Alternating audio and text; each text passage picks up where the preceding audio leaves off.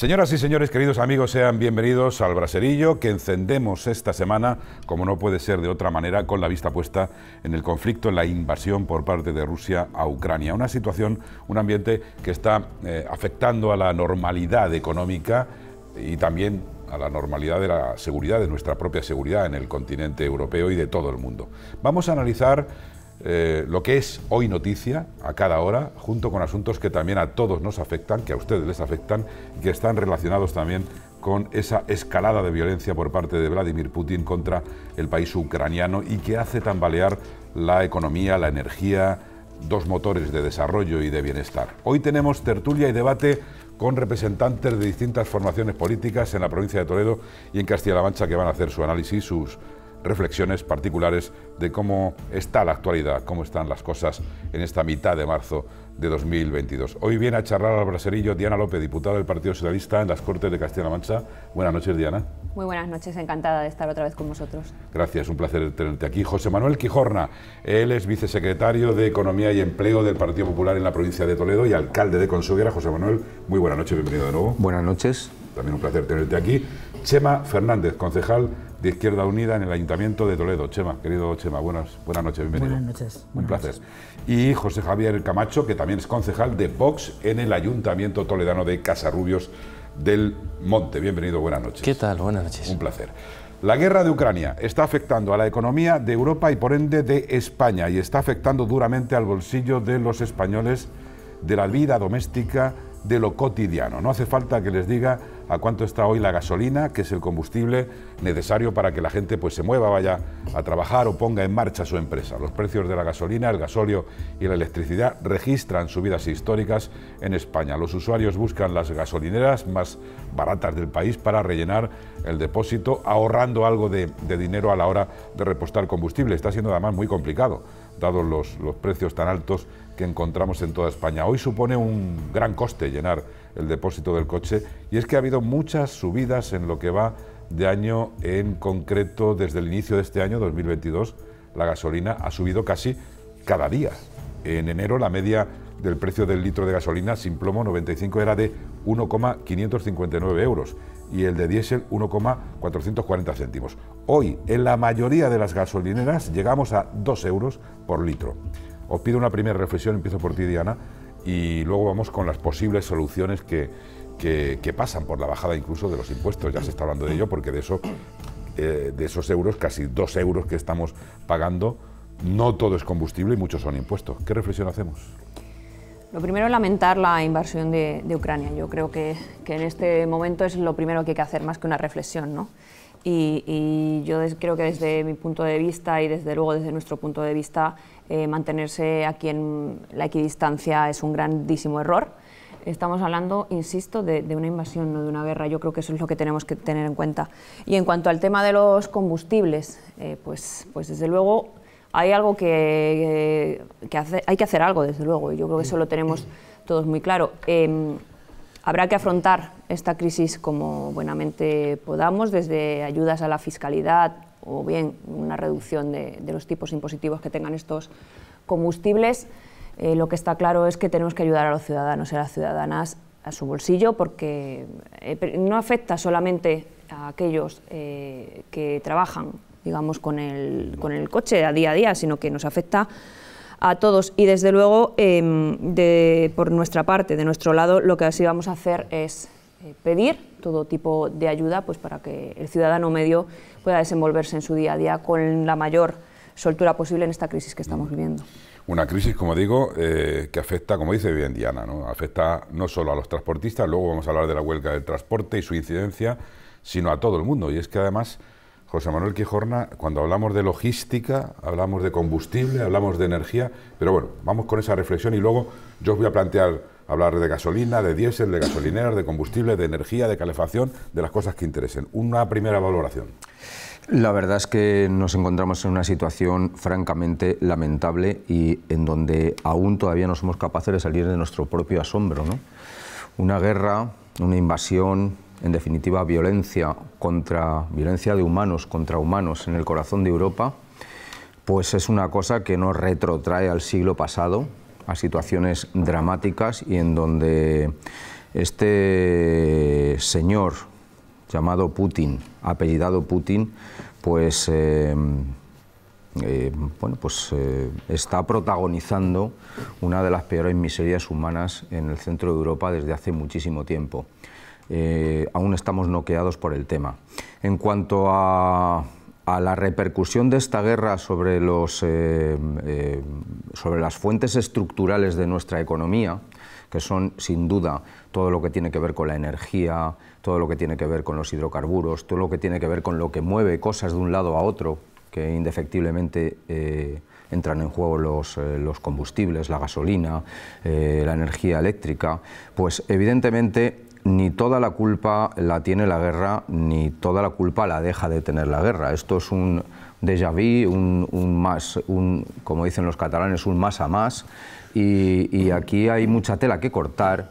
Aquí no todo se le puede atribuir a la guerra, eh, indudablemente eh, es cierto que la guerra es un elemento eh, importante también en este sentido, pero hay mucho margen de maniobra. en el tipo de economía en la que estamos, el consumo es sin duda el motor del funcionamiento de todos y e indefectiblemente el sistema impositivo español, los impuestos en España, están cargados sobre el consumo. Y ahí lo dejo. Em, vamos a hablar enseguida de ello. Eh, llevamos muchos programas ya, ¿eh? Eh, hablando de, la guerra, desgraciadamente, 20 días de guerra, hoy 15 de marzo, pero me he quedado cuando estaba diciendo José Manuel, bueno, esta guerra tiene otras consecuencias también, no solo hablamos de la energía, es que Diana, José Manuel, luego también se lo pregunto a Jordo, es que psicológicamente nos está afectando, es que la salud mental, ¿verdad? Que tan, que tan eh, debilitada está después del confinamiento, de la pandemia. Oye, que hemos tenido hasta de propina cuando estamos haciendo el programa, que tenemos los campos de color naranja, es que no sabemos lo que nos va a venir ya, ¿no? Pero, mentalmente, eh, ver tantas noticias, hablar de todo esto, nosotros vamos a intentar hablar de lo más doméstico, ¿no? Pero ver esas imágenes todos los días es... Yo creo que es dramático, yo creo que es dramático y desde luego hay una cosa que queda muy clara y es que Mm, la guerra no la quiere absolutamente nadie, no creo que la quiera la OTAN, no creo, desde luego, no. la quiere España, no la quiere la Unión Europea, la guerra solamente parece quererla Putin y desde luego nos afecta muchísimo, pero por lo que tú dices, porque llevamos eh, ya un par de años complicados y desde luego van haciendo mella, una cosa tras otra eh, en la mente. Nos hace mella a todos, ¿no? Sin duda ninguna. Esta mañana hablaba en el, ayuntamiento con una, señora, con una señora un poco mayor, ya un poco mayor, no tenía muchos años, sesenta y pocos años. y me decía, oye, ¿y a este loco si le da por apretar el botón rojo? Estamos cerca. Bueno, yo no lo sé, no lo sé. A ver, a ver qué dice Chema. Chema, eh, también te pido esa valoración que le he pedido y luego también a José Javier sobre el estado mental que, al que estamos sometidos, ¿eh? El ser humano, en Europa y en todo el mundo ahora mismo. Un día como hoy hace dos años no hubiésemos podido hacer este programa porque estábamos confinados. Un día como hoy de hace 11 años comenzó la guerra de Siria. Y continúa todavía. De eso, de eso justo iba a hablar ahora, pero un día como hoy, hace dos años, estábamos confinados, era imposible hacer este programa porque por primera vez nos, nos estábamos acostumbrando a vivir 24 horas entre las cuatro paredes, de las que muchas veces solo pasamos comer deprisa y dormir rápido y poco y poco más. Así que, por si aquello nos afectó, eh, todavía yo creo que no nos hemos terminado de recuperar ese sistema educativo que, que de semipresencialidad, esas, esas nuevas formas de relacionarnos con videoconferencias, el que ha sabido hacerlo, otros que seguimos torpones, eh, nos cuesta mucho más.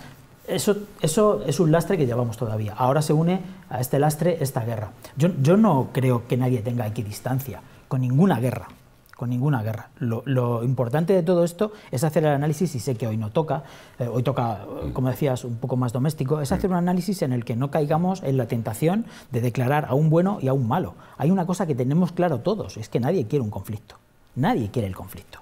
Y menos en el que, como decía José Manuel, se matan humanos humanos matan a humanos. O sea, es que es probablemente una de las tragedias más, importantes del planeta, ¿no? Cualquier, pero no hay que ser equidistantes, hay que ser analíticos. Yo creo que hay que ser también analíticos.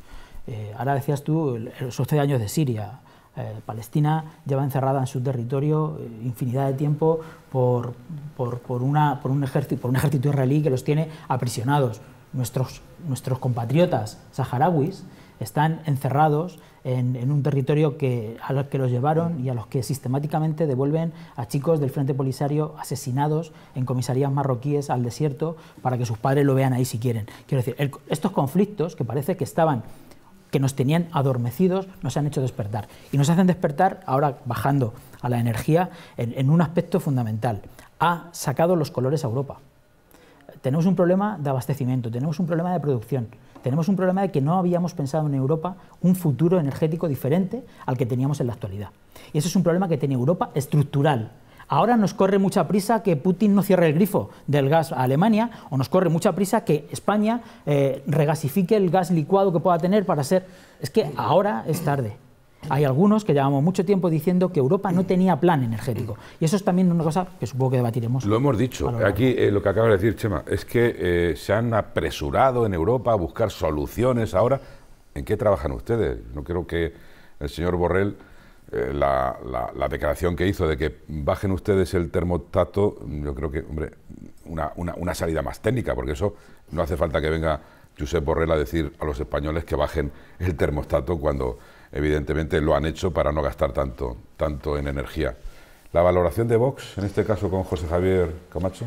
Bueno, pues lo primero que yo creo que tenemos que decir es que en todo este asunto de Ucrania tenemos que tener claro que no es una guerra, eso para empezar, es un país que ha invadido a otro. Eh, además, es un país que está bombardeando hospitales, que está bombardeando edificios de apartamentos. Y no solo eso, sino que además está amenazando al resto del mundo con apretar el botón nuclear y con eso yo creo que poco más podemos añadir para comprender la verdadera dimensión de lo que está haciendo, en este caso, Vladimir Putin.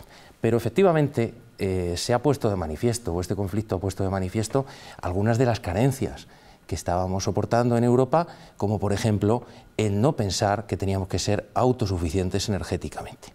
Y eso es muy importante. Pero no quiero yo olvidar, y con esto termino y luego ya tendremos oportunidad de hablarlo quizá con más detalle, la guerra no es la causa del problema. La guerra lo que ha venido es a agravar un problema que nosotros ya arrastrábamos anteriormente, porque la factura de la luz no ha subido a causa de la guerra, ya venía subiendo anteriormente, al igual que los combustibles.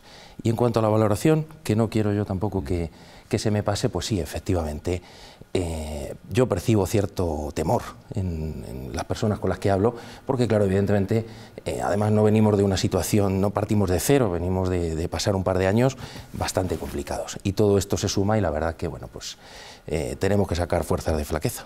Luego incluso hasta Europa ya está diciendo de comprar armas o, o invertir más en seguridad, como ha hecho por ejemplo Alemania. Voy a hablar del depósito de la gasolina, a ver qué os parece. Llenarle el depósito cuesta hoy, tres semanas después del inicio de la invasión rusa de Ucrania, entre 15 y 20 euros más de lo que costaba a principios de año. Con el precio del, litro eh, de gasolina sin plomo de 98 octanos superando los 2 euros en algunas estaciones de servicio españolas, aunque el precio medio oficial que se refleja en el boletín petrolero de la Unión Europea está en 1,681 euros.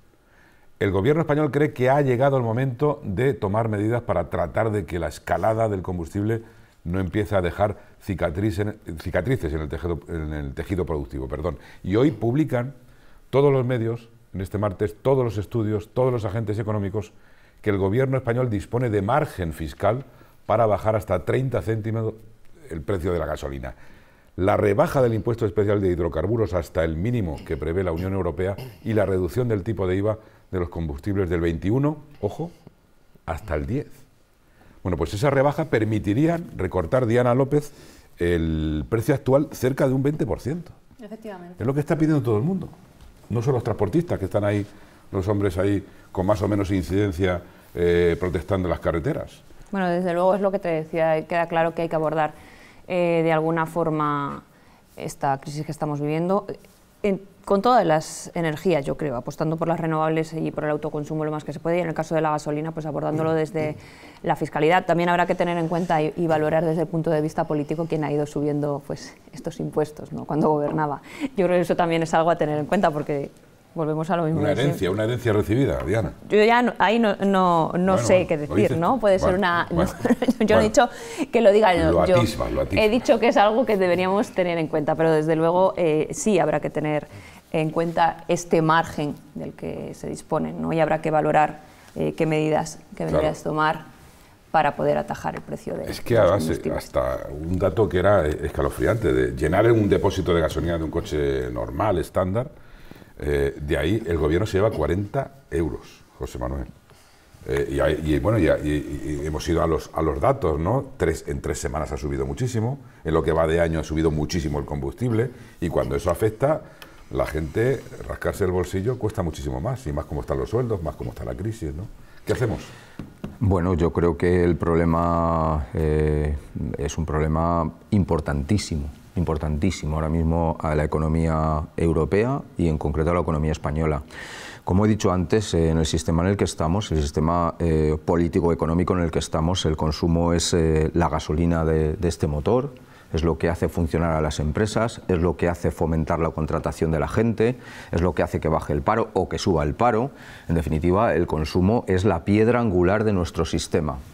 ¿Qué significa esto? Pues que todo lo que eh, vaya a pagar eh, gastos estructurales energéticos, de combustible, etcétera, hace que la gente tenga menos, menos dinero en el bolsillo y por lo tanto tenga menos posibilidades de comprar otros bienes y servicios.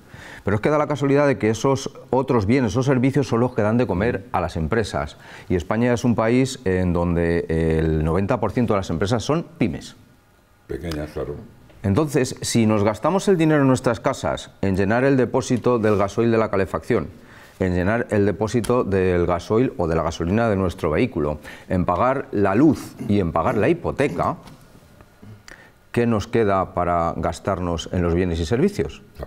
Nada. Solución, queda el PP, a ver.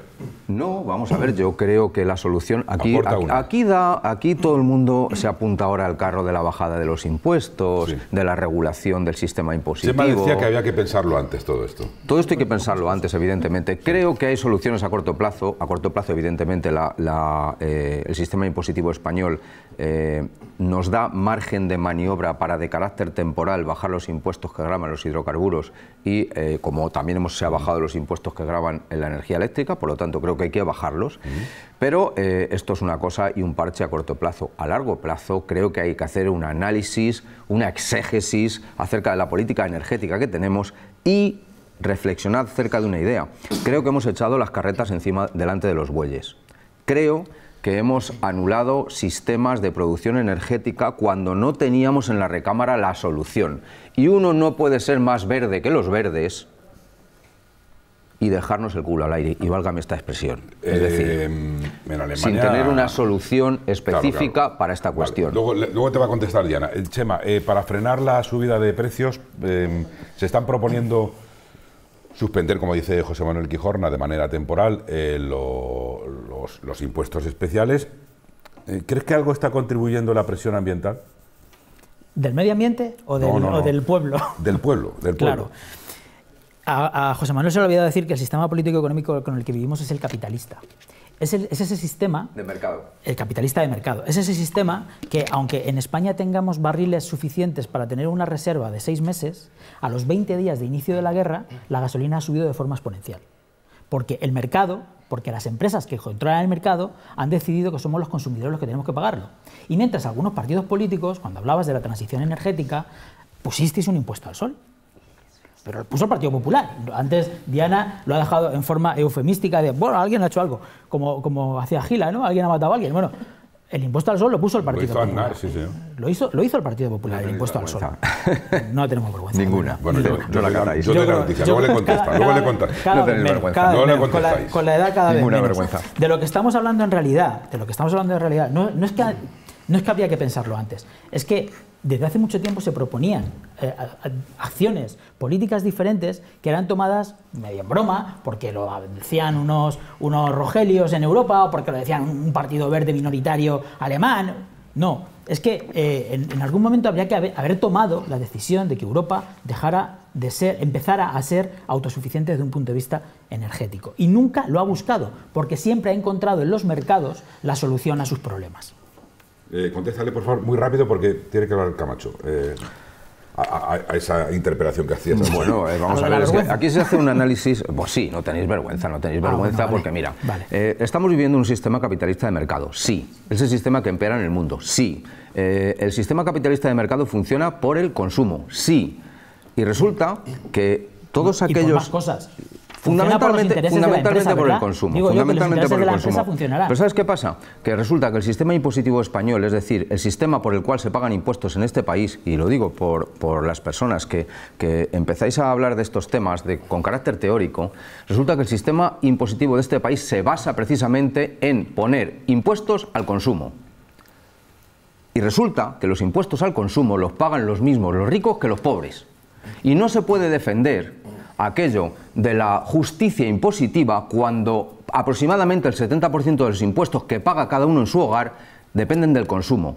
Y el azúcar, la gasolina, los bienes de consumo, los coches, la energía y lo que todo no- lo pagan los mismos, Lo que no pagan el mismo porcentaje los vergüenza, ricos que lo los que no pobres. tiene mucha vergüenza, lo que no tiene mucha vergüenza es decir que eh, mientras que esto ocurre, durante estos dos años hemos exigido a las administraciones la ayuda a una sociedad que sin impuestos es imposible hacer. Tú dices que es mejor que el dinero esté en el bolsillo. Yo creo que es mejor que esté en los médicos que nos han salvado la vida en los hospitales. También. Se ha también. demostrado que es mejor- Con lo que cual, genera hablando más- de genera más trabajo y hablando dinero de- en las sí, bueno, ya empresas. está. Si tú consideras que la sociedad tiene que moverse por un, por un criterio exclusivamente mercantilista, obviamente estamos alejados, estamos en las antípodas. Quiero dar la palabra al representante de Vox. Eh, un un dato, ¿eh? Un dato muy interesante. La huelga del transporte, vamos a hablar eh, de ella enseguida, pero en Francia se anunció el pasado fin de semana una rebaja lineal de 15 céntimos en el precio del litro de gasolina. Aquí en España, en ese fin de semana, los presidentes autonómicos en la conferencia de, La Palma exigieron rebajas fiscales. El Círculo de Empresarios ha instado al Gobierno a bajar la presión fiscal de la energía para impedir que la espiral alcista de los precios energéticos lleve a que el Gobierno pues, eh, se lleve casi 40 euros por un tanque lleno de gasolina en impuestos y derive en un negocio para las arcas públicas a costa de los contribuyentes. Hay muchas voces de muchos sectores que están afirmando que con eh, la situación de, de precrisis, con la incertidumbre y la subida de casi todo, se está haciendo caja con algo necesario como es la movilidad para todos los aspectos básicos. Lo que parece claro es que los periodos de transición hacia unos modelos energéticos que puedan ser más respetuosos con el medio ambiente, podemos decirlo así, esos procesos, esos plazos, los deberíamos marcar nosotros en función de nuestras necesidades. Es decir, aquí se ha apresurado Europa a decir que en el año 2030 tenía que haberse acabado no sé qué. Y quizás habría que haber hecho la reflexión de que los países tienen que adaptarse precisamente según sus condiciones y que por tanto el modelo energético que siempre debe ser que un país sea autosuficiente, ese modelo tendrá que propugnarlo el propio país, no podrá venir impuesto. Y entonces lo estamos comprobando. Además es que Europa era es claramente deficitaria. Resulta que estamos dependiendo del gas ruso. Pero es que se añade otro problema y es que tenemos una carga impositiva muy grande. En la luz, aproximadamente el 50%, después de las rebajas fiscales que se han, que se han realizado. Em, de, ese 22 de, ese, eh, de ese 50% de impuestos, o del total de la factura, más o menos un 22% se corresponde a incentivos a renovables, que eso también hay que, si queréis, luego entramos más tarde. Y en gasolina estamos hablando aproximadamente de otro 50%.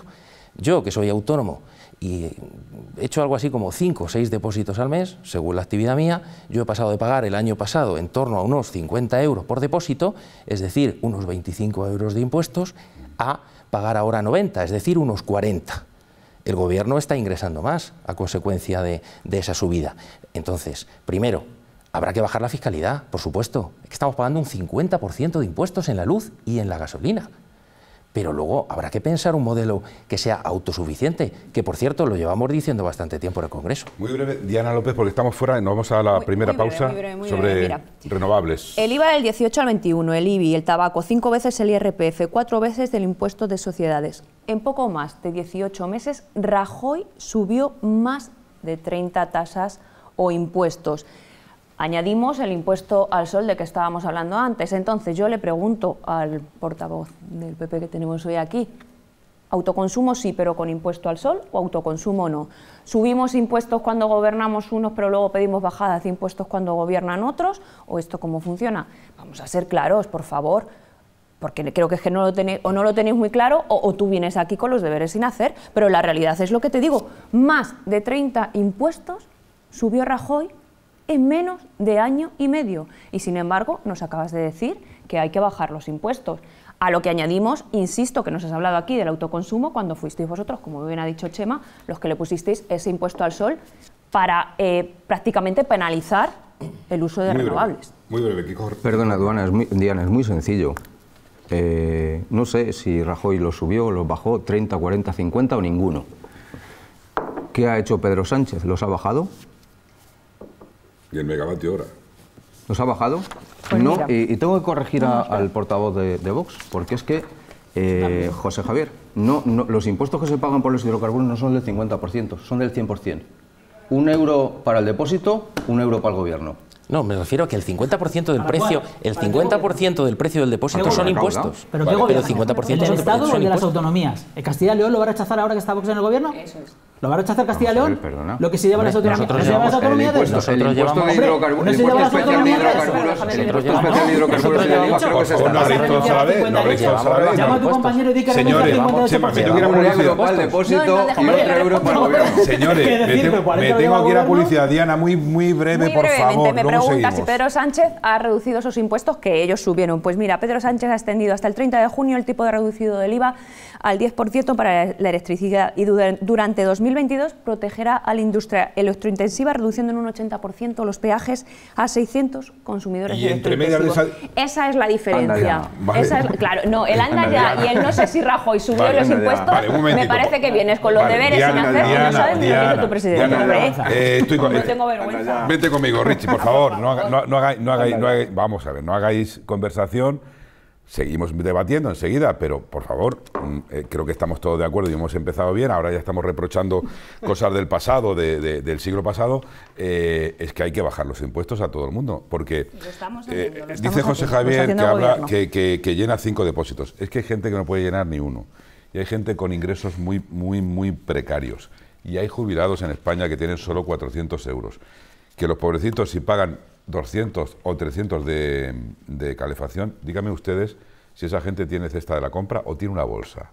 La cesta de la compra es que es muy, muy grande ya para mucha gente en, este país. Enseguida aquí en el Braserillo lo, lo analizamos con nuestros cuatro invitados de hoy.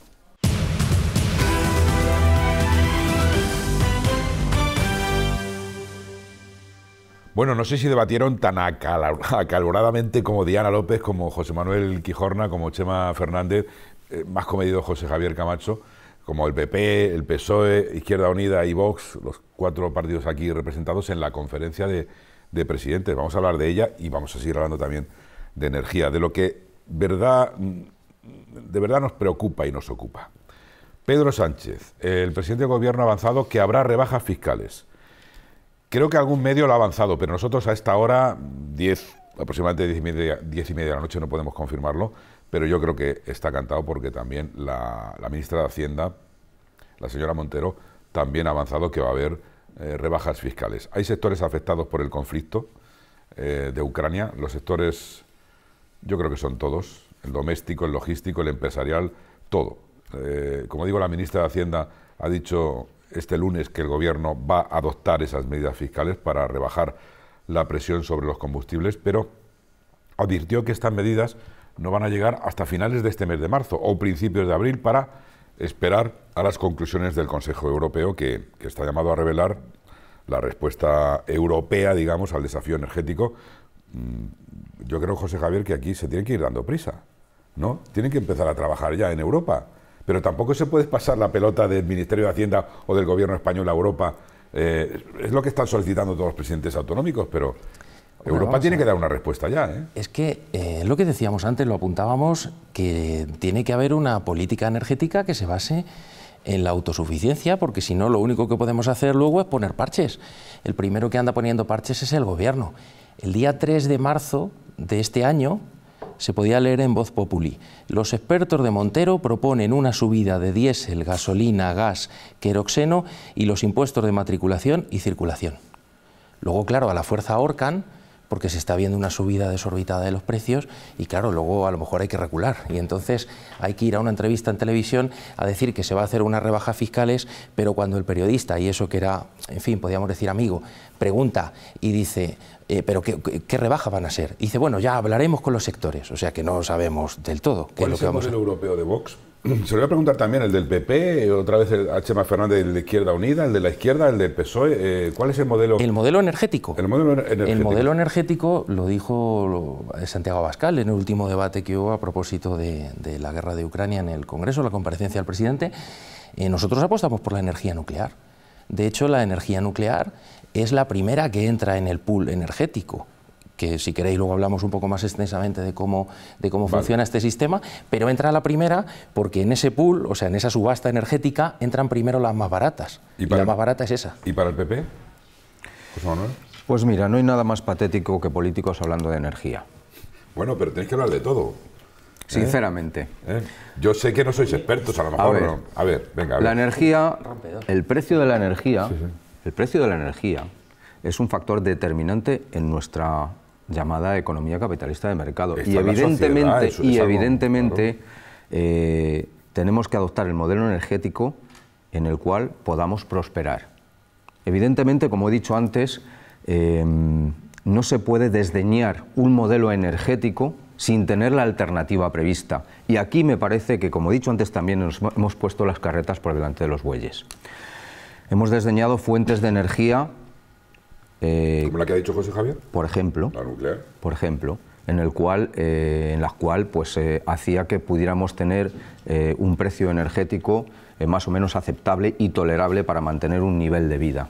Y ahora nos hemos puesto en un sistema, tenemos un sistema en el cual hemos desdeñado, desdeñado todo ese tipo de energías en las cuales existe una mácula pequeña de mm, atentar contra un concepto muy equivocado, muy equivocado, muy mal explicado, muy mal interiorizado y muy mal eh, establecido, eh, sobre todo a nivel, eh, a nivel educativo, que es el medio ambiente. Y en pos de ese malentendido concepto de medio ambiente, tenemos un modelo energético que sin duda es pernicioso para la economía y para los bolsillos de los españoles. ¿Y usted como alcalde de Consuegra cambiaría campos de olivos o campos de vides o campos de azafrán por campos de placas fotovoltaicas? Sí y no. Sí y no. ¿Y cuándo sí y cuándo no? Vamos a ver, la cosa está muy clara. Si, y yo creo que lo hemos dicho antes. Eh, se trata de mantener un modelo energético que nos permita un nivel de vida adecuado al siglo XXI. Lo que no podemos hacer es vender eh, eh, un modelo energético excesivamente medioambiental o en el cual perseguimos un futuro medioambiental. Sin contemplar otras opciones medioambientales. Evidentemente, porque, porque por tener eh, mm, un concepto medioambiental exacerbado, igual resulta que no podemos llegar a pagar ni siquiera la luz de nuestras casas y el combustible de nuestros coches. Lo digo porque hay muchas empresas multinacionales que quieren eh, o tienen ese marchamos, esa etiqueta de sostenible, de verde, pero que no quieren ni oír hablar si se montan en algún sitio de a, muchos metros a la redonda de ver placas fotovoltaicas. ¿eh? Esa es otra, otra, otra, otra imagen.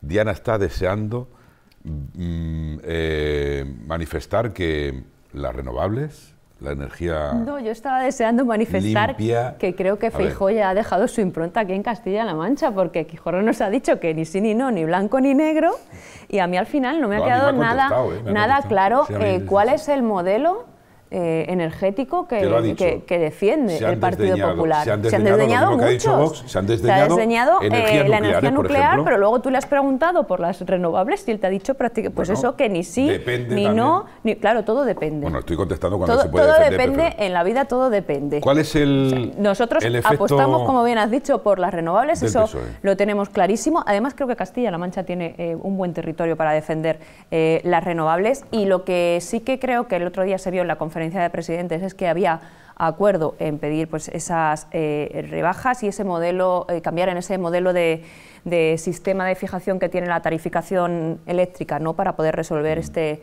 problema que tenemos con la, eh, con la energía.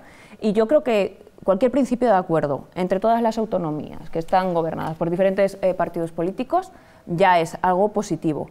Pero, pero sigo e insisto una vez más en saber muy bien, entonces, en el caso de que volviesen a gobernar, en el caso que esperemos que no ocurra, el Partido Popular, eh, ¿qué modelo energético iba a defender? Porque yo te lo digo claramente, nosotros apostamos por las renovables porque creemos que es el futuro.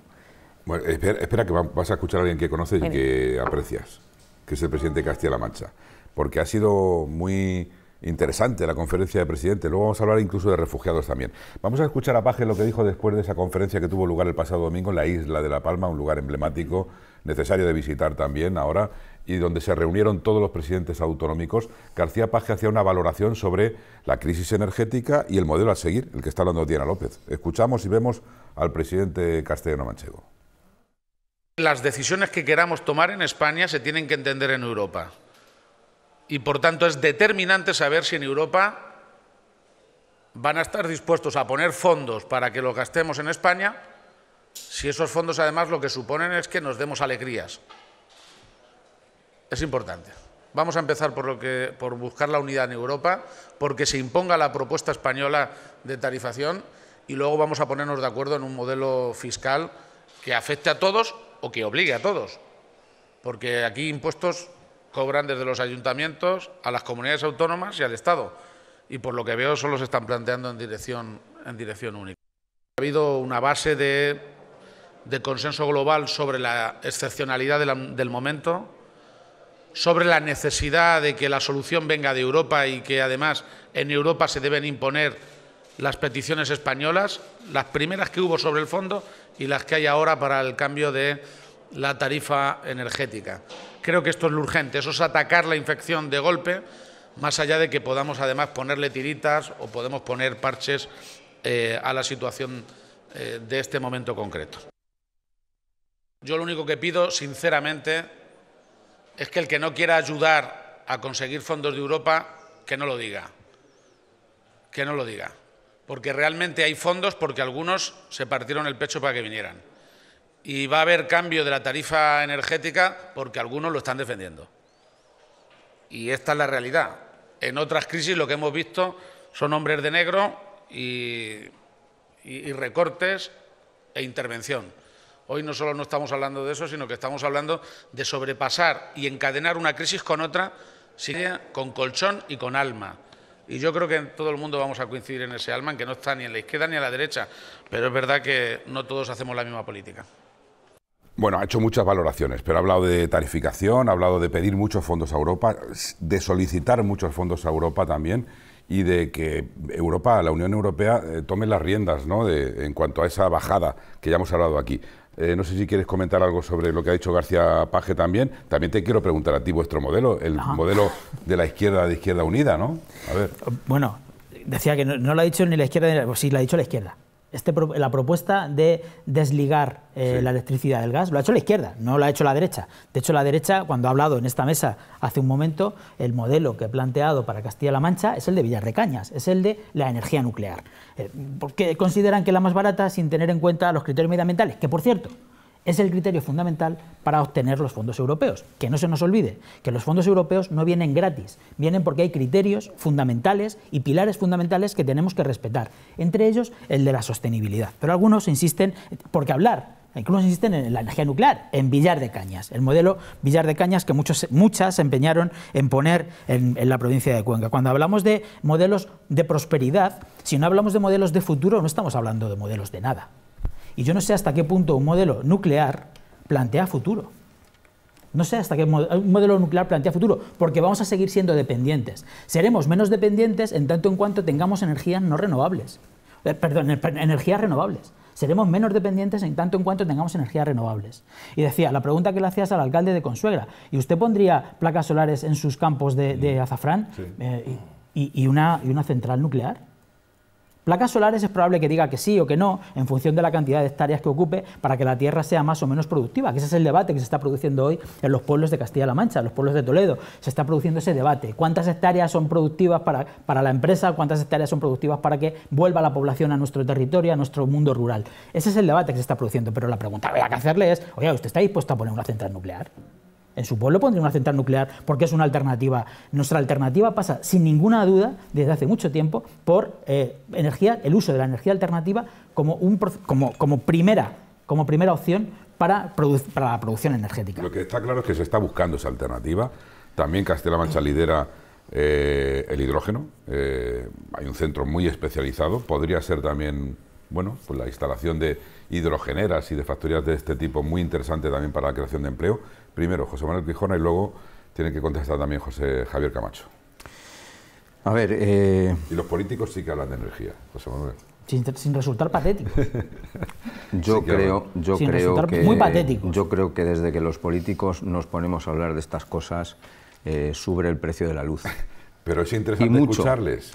Es interesante escuchar, pero yo estoy cansado de, de yo estoy cansado de ver y de poner encima de la mesa el nombre de Europa como la solución y el problema a todo. Eh, la solución porque los fondos siempre tienen que venir de Europa para solucionar los problemas. El problema porque Europa no pone los fondos suficientes. Eh, no se suben los impuestos o no se bajan los impuestos porque nos tiene que autorizar Europa, cosa que es absolutamente falso y falaz. Se están, eh, se están repitiendo como mantras eh, cosas que no tienen sentido. He dicho que en Francia se han bajado este fin de semana los impuestos. Porque lo puede hacer, igual que lo puede hacer España. España no solamente puede bajar los impuestos sobre sobre especiales sobre los hidrocarburos, incluso puede bajar hasta el mínimo el impuesto eh, sobre el valor añadido, sobre el IVA. Y no le tiene que autorizar Europa. Y no le tiene que autorizar Europa porque eh, en nuestro tratado de adhesión no hemos firmado que tengamos que pedir autorización a Europa para bajar el Era IVA. cuando otros países bajaban el precio del IVA de las mascarillas, aquí no. Efectivamente. Y se, requería pues eso se ha repetido como un mantra. No, no podemos bajar los impuestos porque Europa no nos deja. Eso es mentira. Como también es mentira lo contrario. Eso es mentira también. Y yo creo que hablar de conchón, alma y futuro al mismo tiempo, en los tiempos que corren, eh, creo que no es sensato. Yo creo que el problema que tiene España es un problema gordísimo, es un problema de modelo energético, es un, problema de que no se ha abordado de manera estructural el problema de la energía. Y es un problema que además vamos a pagar en la próxima década muy caro, muy caro. Porque, como he dicho antes, nos hemos envuelto en la bandera del medioambientalismo y lo hemos repetido como un mantra y casi nos lo hemos creído. Igual, igual ahora vamos a tener que dedicar una gran parte de nuestra renta personal a pagar la energía la energía con la que nos movemos, la energía con la que nos calentamos, la energía con la que nos alumbramos, la energía con la que encendemos nuestros ordenadores y la energía con la que se fabrica el acero en este país. Mm. Y eso hace que suba exponencialmente no solo la cesta, de la compra, sino todos aquellos valores estructurales que hacen que la economía funcione, como puede ser el acero, como puede ser el cemento, como puede ser eh, una serie de elementos fundamentales que hacen que esta economía funcione. Y una cosilla,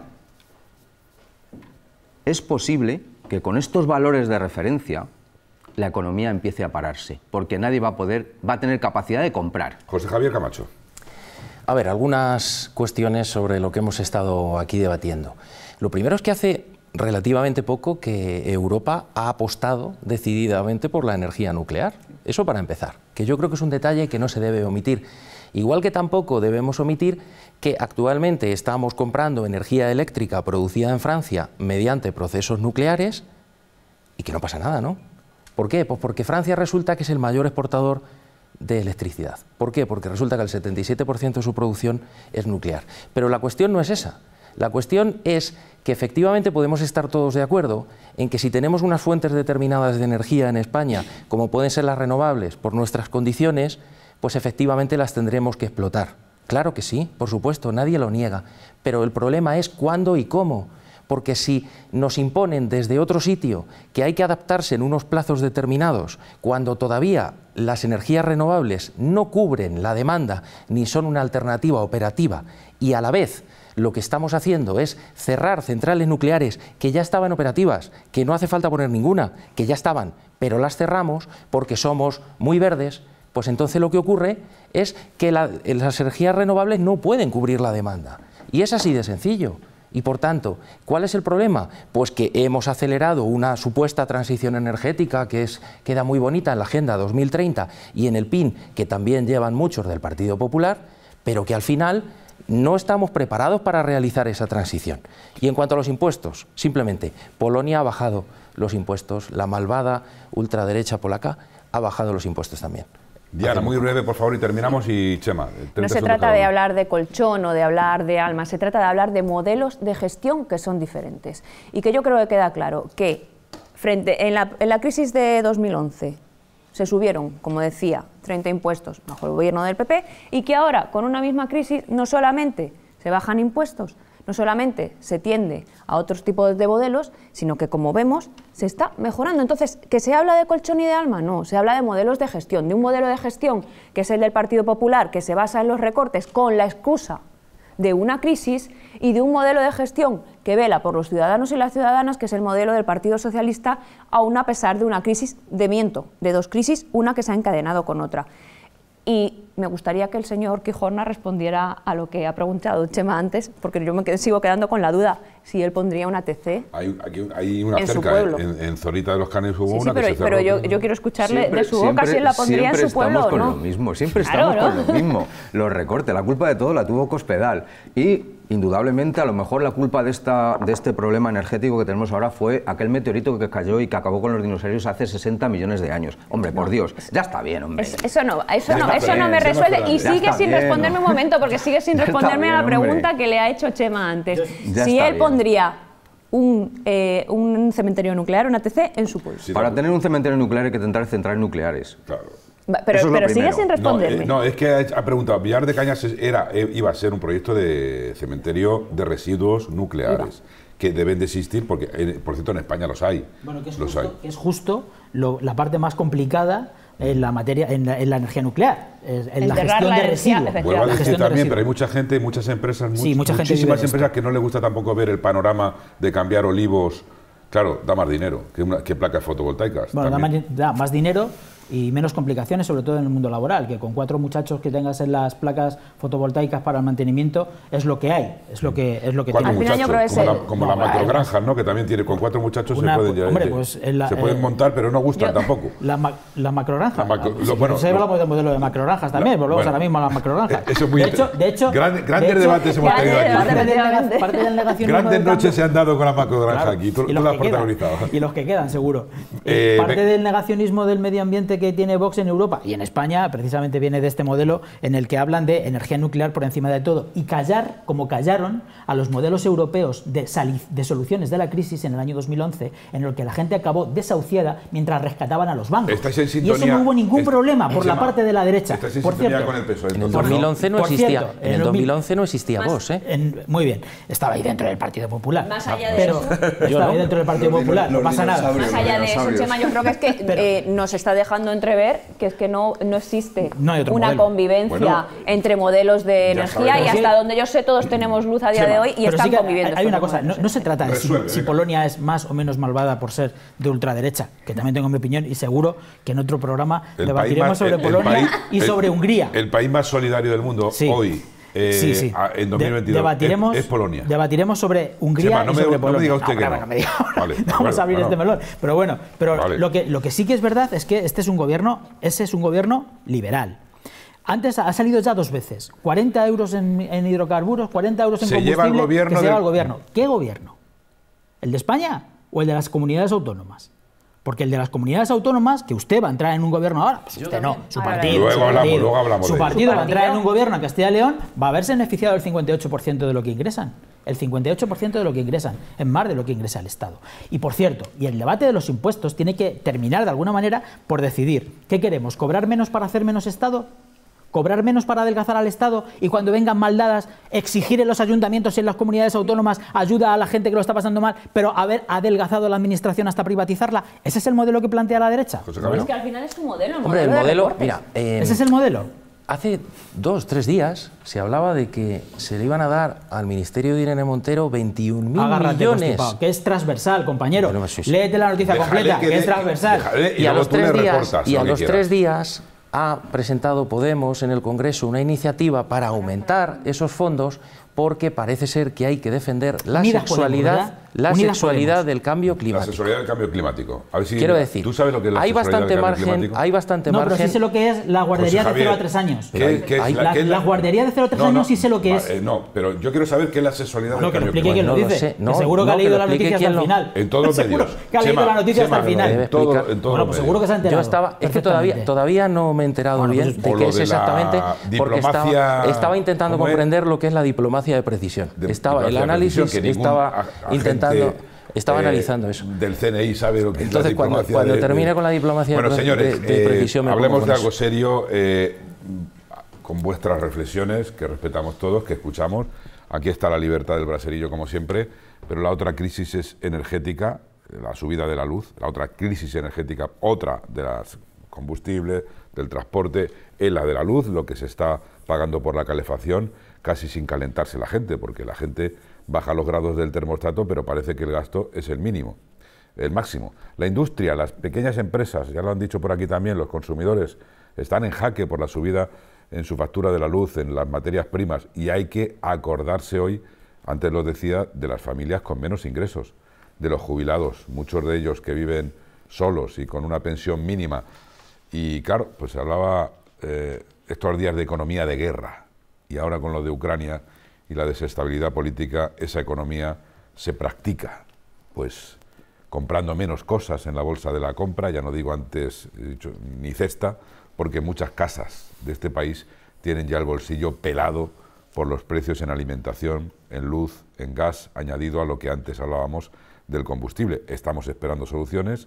Eh, yo he escuchado aquí varias soluciones energéticas, tanto por el PSOE como Izquierda Unida, Partido Popular, Y lo importante es que se pongan esas claves, esas soluciones, y que, que- los políticos, eh, los presidentes de las comunidades lo aporten también. Vamos a hablar de, de la huelga del transporte enseguida, pero quiero eh, comentar una noticia muy importante para la provincia de Toledo y también para Castilla-La Mancha eh, y para una ciudad, y por la parte que me toca, de Talavera de la Reina, que todo el mundo sabe que, que- allí vivimos, pues que la empresa que agrupa a Facebook, a WhatsApp, a Instagram, que ahora es el nuevo sueño inspirador de Mark Zuckerberg llamado Meta, pues eh, ha decidido y ha visto con muy buenos ojos la instalación de su empresa, el mayor, uno de los mayores data center, ¿no? el centro de datos de, Europa, a instalarse en la ciudad de la cerámica.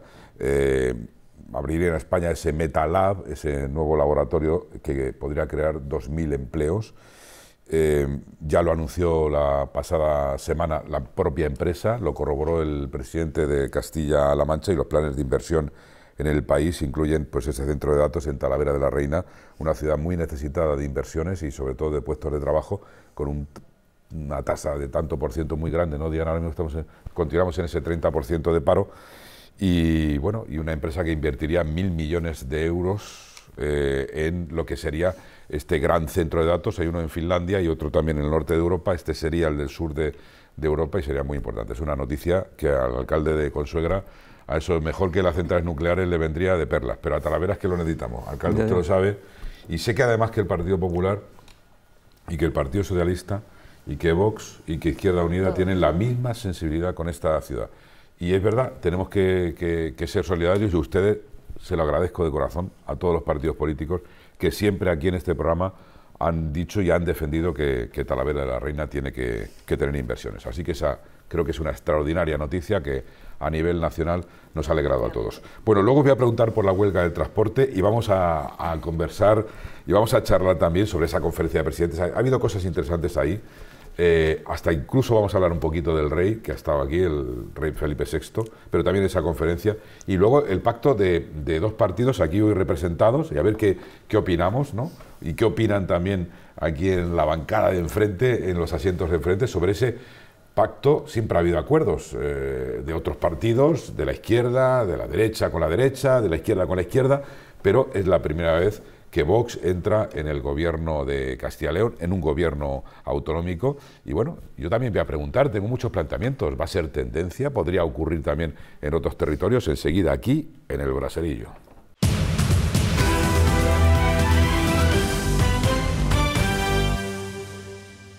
El gasóleo para la calefacción lidera la subida de precios. hoy es casi un monográfico energético.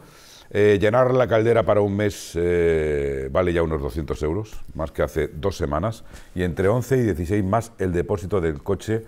El super, por ejemplo, la super registra drásticas subidas del 20%, del 20 al 40%, que no solo afectan al aceite de girasol y al gasoil. El diésel, el combustible más extendido en el mundo del transporte, puede traer consecuencias como la huelga que comenzó este lunes, esta semana. La protesta del sector del transporte al que no le da para llenar los depósitos de gasoil. La mayoría son autónomos, aquí también se ha dicho, tampoco, eh, tampoco el, transportista gana lo que tiene que ganar en proporción con los kilómetros. Eh, los transportistas siguen también este martes diciendo que, no les da de sí, o sea, que todo lo que ganan lo invierten en su tanque de, gasoil del camión, ¿no? Y estamos haciendo el programa, eh, pues, con ese paro indefinido, aquí a la espalda, convocado por la Plataforma para la Defensa, eh, defensa del Sector, digo, porque lo estamos viendo detrás en las imágenes, la Plataforma para la Defensa del Sector del Transporte de Mercancías por Carretera Nacional e Internacional, que asegura representar a las medianas y pequeñas empresas que suponen el 85% del sector. Eh, han habido cortes de carreteras aislados en diferentes puntos y una menor incidencia en las primeras jornadas de este paro de, los transportistas y dicen que es un aviso de lo que puede venir si no se rebajan drásticamente los impuestos. Y este sector lo hemos comprobado durante el confinamiento. Este sí es vital, Diana López. Este sí es necesario e imprescindible. Y están avisando que la huelga podía ir a más. No hay mucha incidencia, empezó el lunes 14 de marzo, pero eh, puede ir a más, porque tendrán que parar, pero no por, por, por, huelga, sino porque no podrán llenar su depósito de gasolina, de gasoil en este caso. Es un sector necesario e imprescindible, como tantos otros también, digamos. Y lo hemos visto, por supuesto, eh, durante la pandemia, sobre todo en el periodo de, cuarentena, no de encierro en casa, pero también hemos visto que mm, en estas ocasiones hay que hacer un llamamiento a la calma. Y hacer un llamamiento a la calma a la población para que no suceda lo que ocurrió ya en ese periodo de cuarentena cuando se preveía una escasez de muchos productos, entre ellos de papel higiénico, que es algo que se está viendo ahora también un poco con el aceite de oliva, ¿no? o de girasol, perdón. Y, hay que hacer ese llamamiento a la, calma para no comprar en exceso, para no hacer una sobrecompra de determinados productos, porque yo eh, veo muy difícil que el suministro se vea perjudicado. Yo entiendo que habrá un paro, pero también entiendo que las grandes superficies y, el, empresario medio pues garantizará ese abastecimiento. Por lo tanto, yo insisto en ese llamamiento a la calma a la población para que precisamente no colapsen y no sea lo que perjudique a la hora de abastecer eh, los supermercados. Claro, pero es que el día que celebrábamos aquí un debate sobre la situación después de los primeros días de guerra con periodistas, con analistas, con gente de la geopolítica, se hablaba de lo del desabastecimiento como un fenómeno que no tiene que ver en sí por el desabastecimiento, porque sí que hay ahora mismo aceite de girasol en España, pero mm, vinculado a la psicosis de la gente, lo que dice Diana, ¿no? La gente tiene cierta psicosis. Por cierto, José Manuel, lo hemos estado hablando antes, antes en esta pequeña pausa para que ustedes vean unos buenos anuncios.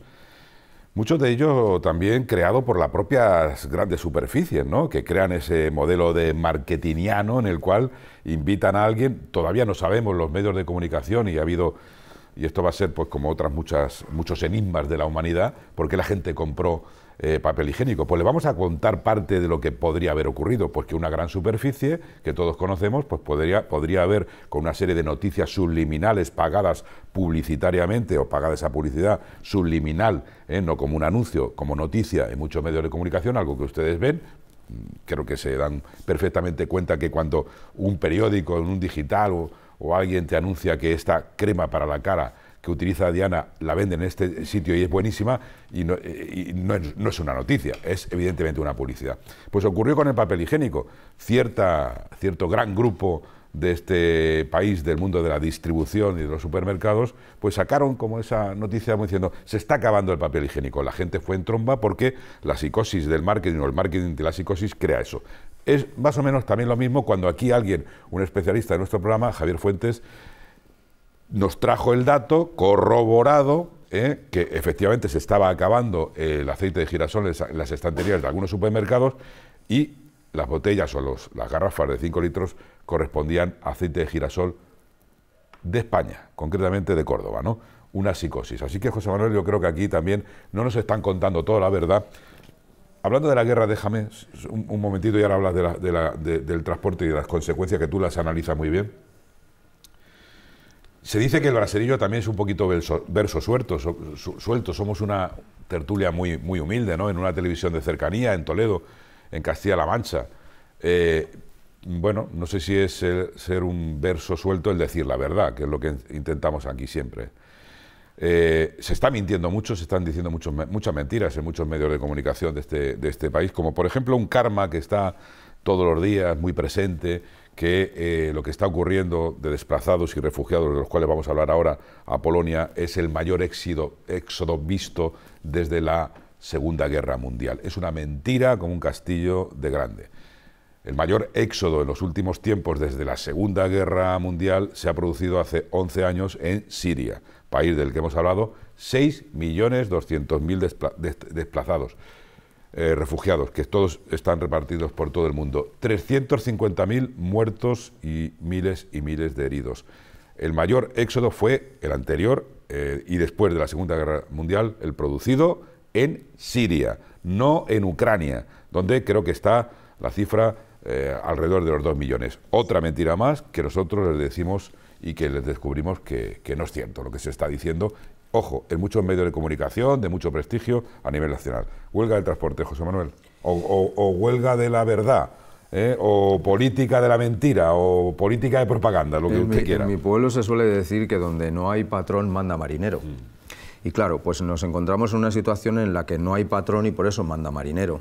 Esto le va a gustar mucho a Chema, ¿no? porque en un mundo en donde eh, los oligopolios tienen mucho que decir, pues resulta que eh, los precios de las cosas, eh, la sensación de, desabastecimiento eh, y un montón de decisiones que tienen que ver con nuestra vida diaria, pues no se toman en los centros de poder, de poder elegidos democráticamente, sino que se toman en unos centros de poder económico que se llaman oligopolios. Y comerciales. Y comerciales. Y esto pues justifica un poco todo lo que tenemos encima de la mesa. justifica, por ejemplo, el hecho de que exista esa sensación de desabastecimiento, porque a alguien se le ocurre sembrar la idea de que algo va a faltar. Usted va a comprar papel higiénico y girasol y pica comprando leche, ¿no? y azúcar y otras cosas, ¿no? Eso es más viejo, eso es más viejo que todo, ¿no? O sea, eh, es una técnica comercial que han utilizado eh, estas eh, grandes compañías toda la vida. En el ámbito del transporte, pues pasa un poco exactamente lo mismo. Esta mañana escuchaba una entrevista a un señor transportista muy sensato que decía, el 85% efectivamente de los transportistas somos autónomos, tenemos nuestro camión, nos pagamos nuestro gasoil, al mismo precio que pagas tú, me decía en mi caso, el gasoil de tu coche particular, lo pagamos nosotros como transportistas porque no hay un eh, combustible profesionalizado, no lo hay. Claro. No lo hay. El transportista paga el gasoil al mismo precio que pagamos cada uno de nosotros el, carburante. Que, les bajen ese IVA. Pero ello eh, apuntaba una idea que era, eh, claro, es que nosotros los autónomos, que somos la mayoría, estamos trabajando prácticamente a costo. ¿Por qué? Porque las grandes compañías de transporte compran directamente el combustible a, aquellas empresas, a aquellos oligopolios que eh, les hacen una rebaja importante. Y a nosotros no nos pasa eso. Nos encontramos en una desventaja competitiva con respecto a las grandes compañías de transporte. Eso me temo, y eso es otra grandísima verdad que se pone sobre la mesa y de la que nadie habla, y esto pasa pues, por lo que hemos dicho antes, donde no manda patrón, pues suele mandar marinero. Y creo que mm, en un mundo globalizado, en donde el transporte es fundamental, en donde no sabemos valorar el hecho de que eh, las grandes logísticas nos pongan un jersey en la, en la puerta de nuestra casa, no sabemos valorar en donde cogemos una cesta de la compra y nos vamos a una superficie y compramos prácticamente de todo, pues todas esas cosas llegan a las grandes superficies y a nuestras casas a través de los transportes. Sin los transportes eh, no podríamos disfrutar de un grado de bienestar como el que tenemos en este momento. Y se hace necesario que por parte del Gobierno se tomen medidas en aras a proteger precisamente a este 85% de los transportistas que viven de su sudor, de su camión y del gasoil, que ojo, lo pagan al mismo precio que todos nosotros. Autónomos. Autónomos. Que le suben la luz, que le suben el, el gas, que le Las suben... ruedas- Han visto muy ayudados, mucho más ayudados que en Sí, pero Diana, Diana autónomos, autónomos de este país que son un poco como que, que se les aplica un poco como a Putin, ¿no? El- eh, la subida del gas, la ¿A los subida de la luz. No, no, a los autónomos españoles se les aplica eh, la subida de impuestos, eh, tienen que pagar también todos los meses. Sí, sí. ¿Sabes por qué? Porque lo ven todos como sanciones económicas. ¿Sanciones económicas a los autónomos? Yo creo que los autónomos en esta crisis eh, han recibido bastantes ayudas. Pues al menos por- de parte del gobierno quejando, regional ¿eh? se han movilizado varios paquetes de ayuda para los autónomos y las pymes de nuestra región y yo creo que no pueden estar se más quejar? o menos sí por supuesto quejarse eh, porque estamos en democracia y eso es bueno que nos podamos quejar cuando tengamos otro modelo de gobierno que a lo mejor nos llegan en algún determinado momento a lo mejor y no a podemos los consumidores quejarnos que no se les subvenciona. a día de hoy a los nos podemos que no se les quejar Eso somos todos ya, ¿eh? Y usted también. por supuesto que sí Chema, Y a los grandes oligopolios que no se les cobra lo que se debe. pues también sabría que ¿verdad? cobrarse. Porque es que muchas veces nos referimos al autónomo y No hay me, me patrón, gusta no hay la patrón. reflexión, me Claro. gusta, me gusta la reflexión. No hay patrón. Porque eh, a lo mejor es a ellos a donde hay que mirar. Hay que empezar a dejar de mirar al consumidor, al que dejar de mirar al consumidor para rebajarle impuestos o para que pague más impuestos y empezar a que cobren a cobrar impuestos a quien más está ganando. Hace poco, hace unos minutos, hablabas de esta empresa que va a invertir mil millones de euros en Talavera. Que ojalá sean tres mil, pero que se les cobre luego lo que se tenga que cobrar. A ver si vamos a empezar a hablar de bonificaciones fiscales para que quien gane sea el oligopolio, en este caso de los metadatos, creo que dijiste que era eh, Meta. una empresa de metadatos. De Zuckerberg, no, no, Facebook, Sí, Facebook. son metadatos. En vez de que ganen ellos, que ganemos todos. Pero Y que, hay ellos paguen lo pero que deben, ¿eh? No más. Pero también hay que no más. facilitar las cosas para que vengan. Vale, pues entonces, no si me metan con las co- asuntos. No, no, no, estamos hablando de Pero impuestos. hay que ¿verdad? facilitar el estamos suelo, hablando de la impuestos. gente, Y la- fíjate, decía, decía José Manuel una cosa interesante. Pero decía, si es que se van a los- otro los país, oligopolios de los, los, los autónomos que trabajan para los oligopolios, ¿son autónomos o falsos autónomos? Porque la gran mayoría de ellos tienen un único pagador. Y cuando un autónomo tiene un único pagador, es un asalariado. Podría beneficiarse en ese caso de ese beneficio que tiene la gran empresa con respecto al diésel bonificado. Pero sobre todo, hablando de la huelga de hoy, yo creo que sí que hay que poner en valor alguna cosa. Hay una, hay una central que ha convocado, otras centrales no han convocado y prefieren poner esas centrales el acento en cosas que tienen más recorrido a largo plazo y que sí que benefician las condiciones laborales de esos trabajadores autónomos, transportistas. Son la jubilación a los 60 años, reconocimientos de enfermedades profesionales que están derivados de su puesto de trabajo o la limitación de las cargas y descargas. Sin embargo, esta central, que ha convocado la huelga, ha convocado el paro, creo que no se puede llamar huelga, no sé si tiene el amparo legal de huelga, pero ha convocado el paro, ha preferido centrarse en el precio del combustible, cuando hace meses que sufrimos este, este precio y ahora de forma oportunista, y lo decía al principio, justo a 20 días de la huelga, teniendo reservas de diésel, teniendo reservas de gasolina, teniendo reservas de crudos en España para seis meses, nos han puesto el precio de la gasolina como si hubiésemos comprado el barril hoy. Transporte, José Javier Camacho. Voy a empezar por los autónomos, porque hay una cosilla ahí que, claro, me toca directamente, ¿no?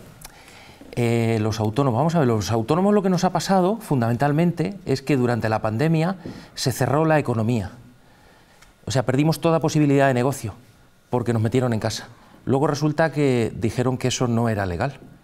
Entonces, nosotros hubiéramos preferido que la economía hubiese seguido funcionando antes de que nos dieran algún tipo de ayuda. Y sobre todo, porque ahora estamos temblando todos los autónomos, porque se nota que hace mucho que no habláis con ninguno, porque nos van a subir las cotizaciones un disparate, y hay que decirlo así, porque nos van a poner un sistema de cotización Hombre, yo he dicho brutal. sanciones, pero son impuestos, subida de impuestos, claro. ¿Eh?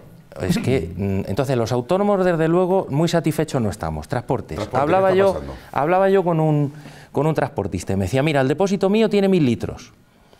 Antes me costaba llenarlo 1.300 euros. Ojo, ¿eh? Y ahora me cuesta 2.000. Son 700 euros, que es el margen, no el beneficio, el margen que pueda tener, donde ahí también tengo que meter desgaste de vehículo, una serie de cosas. Quiero decir, es insostenible para ellos. No pueden, o sea, no pueden. No pueden, no No pueden. es que diga, vamos a hacer huelga. No, es que no puede. pueden. El, el problema es que los transportistas, muchos, están diciendo, es que tengo que guardar el camión porque es que ¿eh? pierdo dinero. Sí. Eh, están llegando de Portugal, José Javier, a- están echando gasolina en Badajoz, en la parte de la frontera con España, y también en la parte de Huelva, ¿no? Porque... ¿qué planteas? No, no, déjame- luego- de- eh, perdona, déjame que diga esta noticia. Es que Sabéis que, bueno, muchos sabéis, la mayoría y muchos espectadores, que, que, a Portugal se iba a comprar hace mucho tiempo a España, se iba a repostar la gasolina porque era más barata. Pues ahora los portugueses, fijaros cómo, cómo están. No, lo que plantea es una, una un, ha dicho aquí una profesionalización de los impuestos que se les aplican a los transportistas, de una rebaja ya comunitaria, yo creo, para porque el transporte no solo tiene este problema en España, le tiene en todo en toda la geografía europea, ¿no? Y entonces Pero entonces ahora sí tiramos de Europa para esta rebaja comunitaria. no, no, no, no, no, aquí se le está solicitando a España, ¿Tiramos del Estado o tiramos de las autonomías? entonces qué pasa? ¿Que tiene que parar los transportistas? No, no, no, no. Mira, te he puesto la profesionalización de los grandes oligopolios que tienen que ver con el transporte, que están financiados probablemente en su Te está hablando de autónomos. sí, la mayoría son autónomos, el 80%. Pero que lo he dicho antes. 80% de transporte. Pero Jesús, espera un momento. Si esos, esos autónomos, que yo creo que son falsos autónomos, porque tienen un único pagador, estuvieran asalariados en la empresa, ese combustible estaría también subvencionado. Es que parece que el autónomo del transporte, como en otros muchos sectores, lo es per se. No es que a veces que el autónomo, que tiene un único pagador. Y el taxista también lo es. Hablamos otro día del tema de taxistas. El, tema de los autónomos, de los falsos autónomos, que tienen un único pagador, es un tema que, por cierto, se está regulando en este, con este gobierno. Se ha regulado con este gobierno. Y que a lo mejor lo, lo posibilitaría ayudar. Ahora, si lo que estamos diciendo es, oiga, que el Estado ayude a la vez que decimos, oiga, que no cobre impuestos. Claro. Bueno, pues explíqueme de dónde sacamos el dinero. Muy breve con este ¿Estamos a la máquina multicopista? José Manuel Quijorna. ¿En qué mundo vivimos, por Dios santo? Efectivamente. No lo sé. Pues no, no, ¿En qué mundo vivimos? Yo no querer cobrar impuestos. No me debo decirlo. Querer cobrar impuestos. Punto, Yo sí. Punto número uno. Los autónomos sostienen básicamente la actividad productiva de este país. Vale. Aquí no hay falsos autónomos ni, ni verdaderos autónomos. Aquí hay personas que se juegan todos los días su sudor, su sueño, sus recursos, sus ahorros, que no ven a sus hijos. ¿Eh? No. Sí. Sí, sí, no, si no digo eso. Cobran las facturas. En su casa no solamente el debate tienen emocional y demagogo está muy bien. No, no, no. No me hables de demagogia. no me hables de demagogia. No el me debate emocional de demagogia. está Déjale que termine y luego le contestas. Porque estamos en un, en un medio libre porque cada uno se hace responsable de sus opiniones. Y lo que queréis. Y yo opino esto. Claro. Y no me hables de demagogia.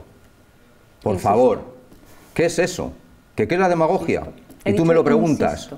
Dame por Dios, vamos a ver. Los autónomos son la columna vertebral del sistema productivo de este país.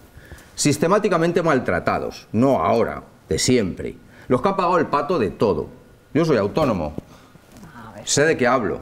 Mi familia ha sido autónoma y mis abuelos también. Entonces, no empecemos a decir que si los falsos autónomos, que si tienen un solo pagador, que si se van a jubilarse a los 60, un autónomo no se jubila nunca en la vida.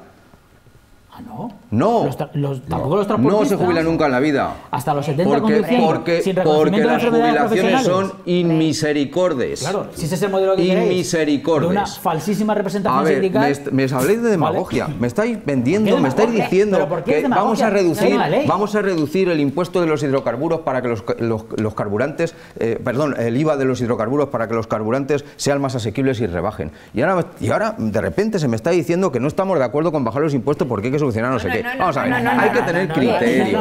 Hay que tener criterio en la vida. Criterio en la vida. Vamos a ver. Yo lo que estoy diciendo es lo siguiente. Lo que estoy diciendo es lo siguiente. Esto no es un paro ni es nada por el estilo. La gente, la gente, el autónomo, el autónomo está hasta el gorro no les llega la vida para pagar los impuestos, no les llega la vida para pagar su, su camión, no les llega la vida para ganarse dignamente el sudor, eh, con el sudor de su frente. Y, protestan por eso. Y una cosilla, como esto siga así, como el nivel de, de, precios de los hidrocarburos siga así, de las materias primas siga así, al final, pues vamos a llegar a un punto en el cual los transportistas la mayor parte de los transportistas no va a poder vivir de su profesión y por lo tanto no van a transformar, no van a transportar las mercaderías que son tan necesarias. Muy breve, por favor. Venga, Diana. No, es que el tiempo Primero, sí que es un paro, es un paro el que estamos viendo en el sector del transporte, es un paro. Segundo, sí existen los falsos autónomos, si no, no se legislaría sobre ellos. Tercero, si se jubilan algunos autónomos. Y cuarto, los autónomos y las autónomas en este país tienen familia, tienen deudas, tienen hipoteca, como tantas otras personas que son funcionarios, como tantas otras personas que son asalariados, como tantas otras personas, como todas las personas, dependen de su sueldo. No, los funcionarios pero dependen de su sueldo.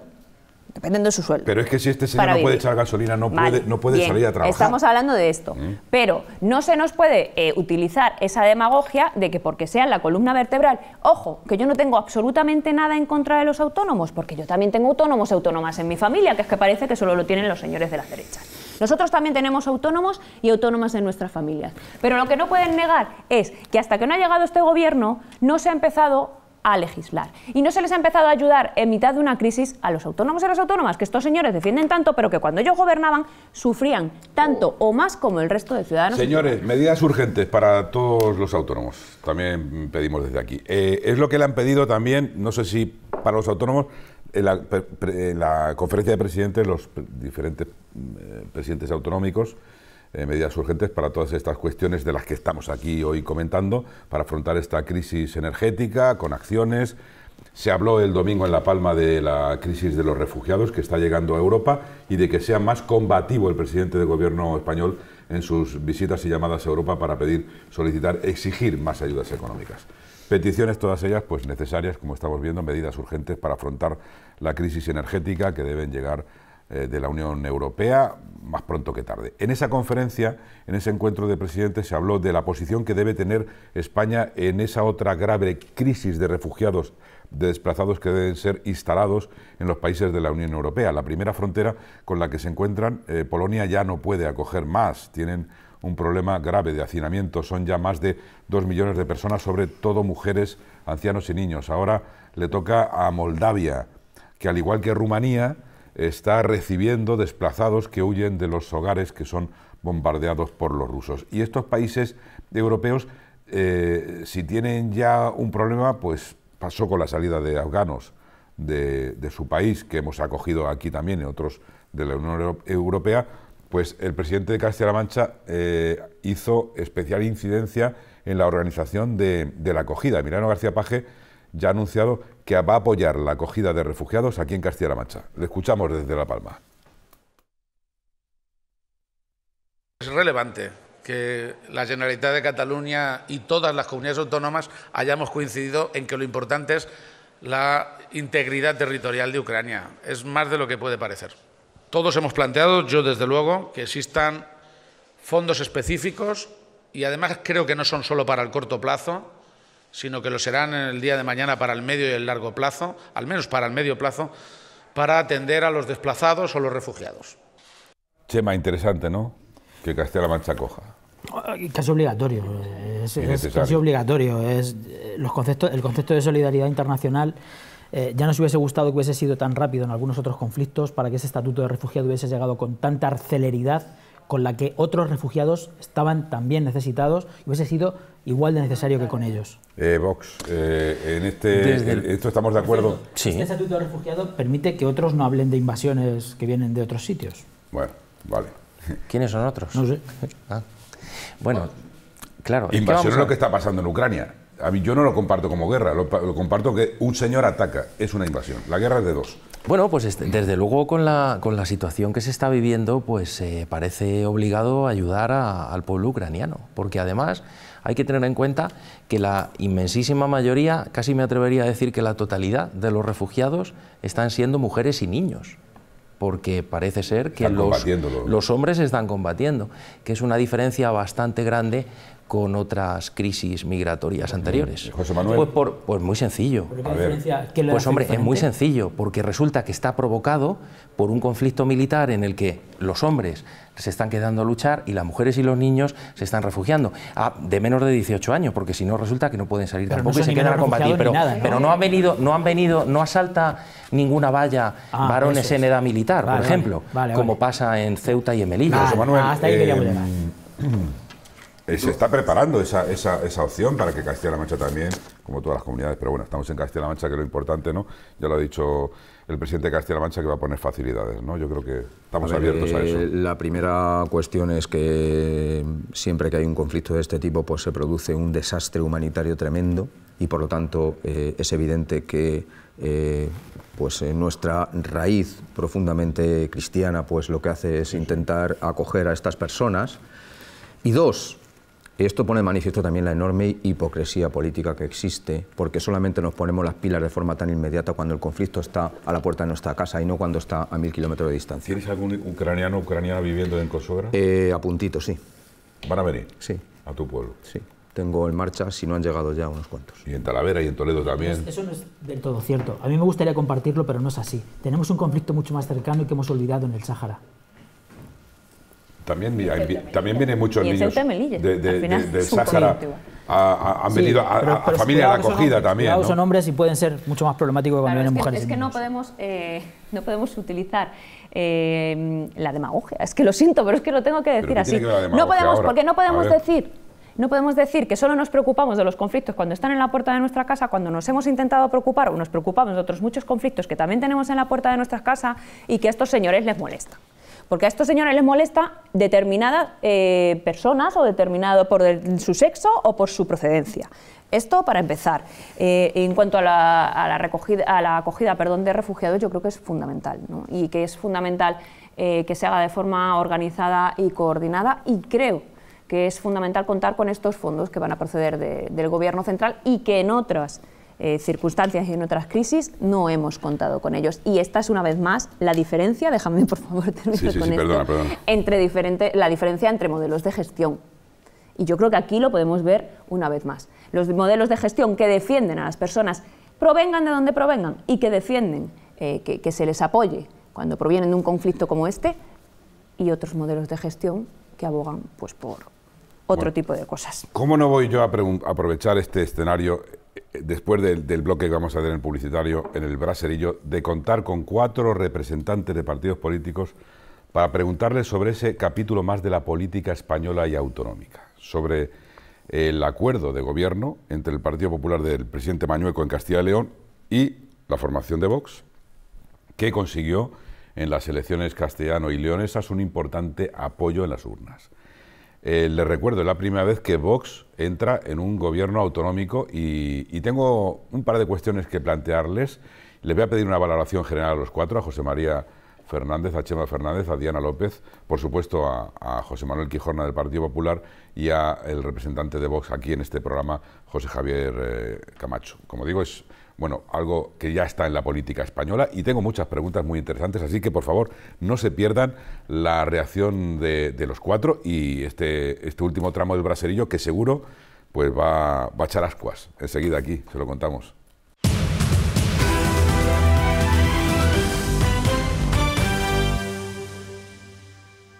Resta final, bueno, eh, pues estamos todos de acuerdo, eh, con matizaciones en que hay que rebajar los impuestos del combustible porque el que no sea autónomo es consumidor y esto afecta a todo el mundo. Afecta a ricos y pobres, ¿eh? por cierto.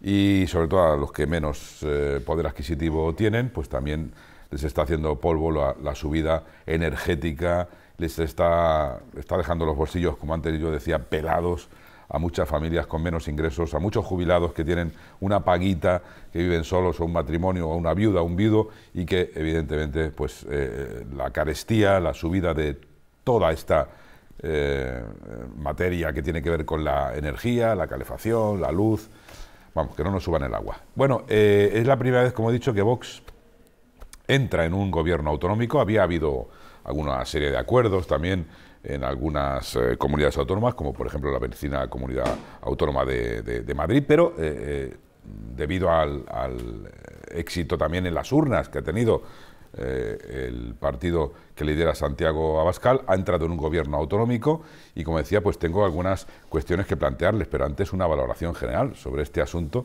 que no gusta nada a un sector de la política española. española. José Javier Camacho, empiezo por, el concejal de Casarrubios pues, del Monte. La verdad es que durante toda la campaña electoral de Castilla y León nadie podrá decir que Vox no tuvo un mensaje suficientemente claro.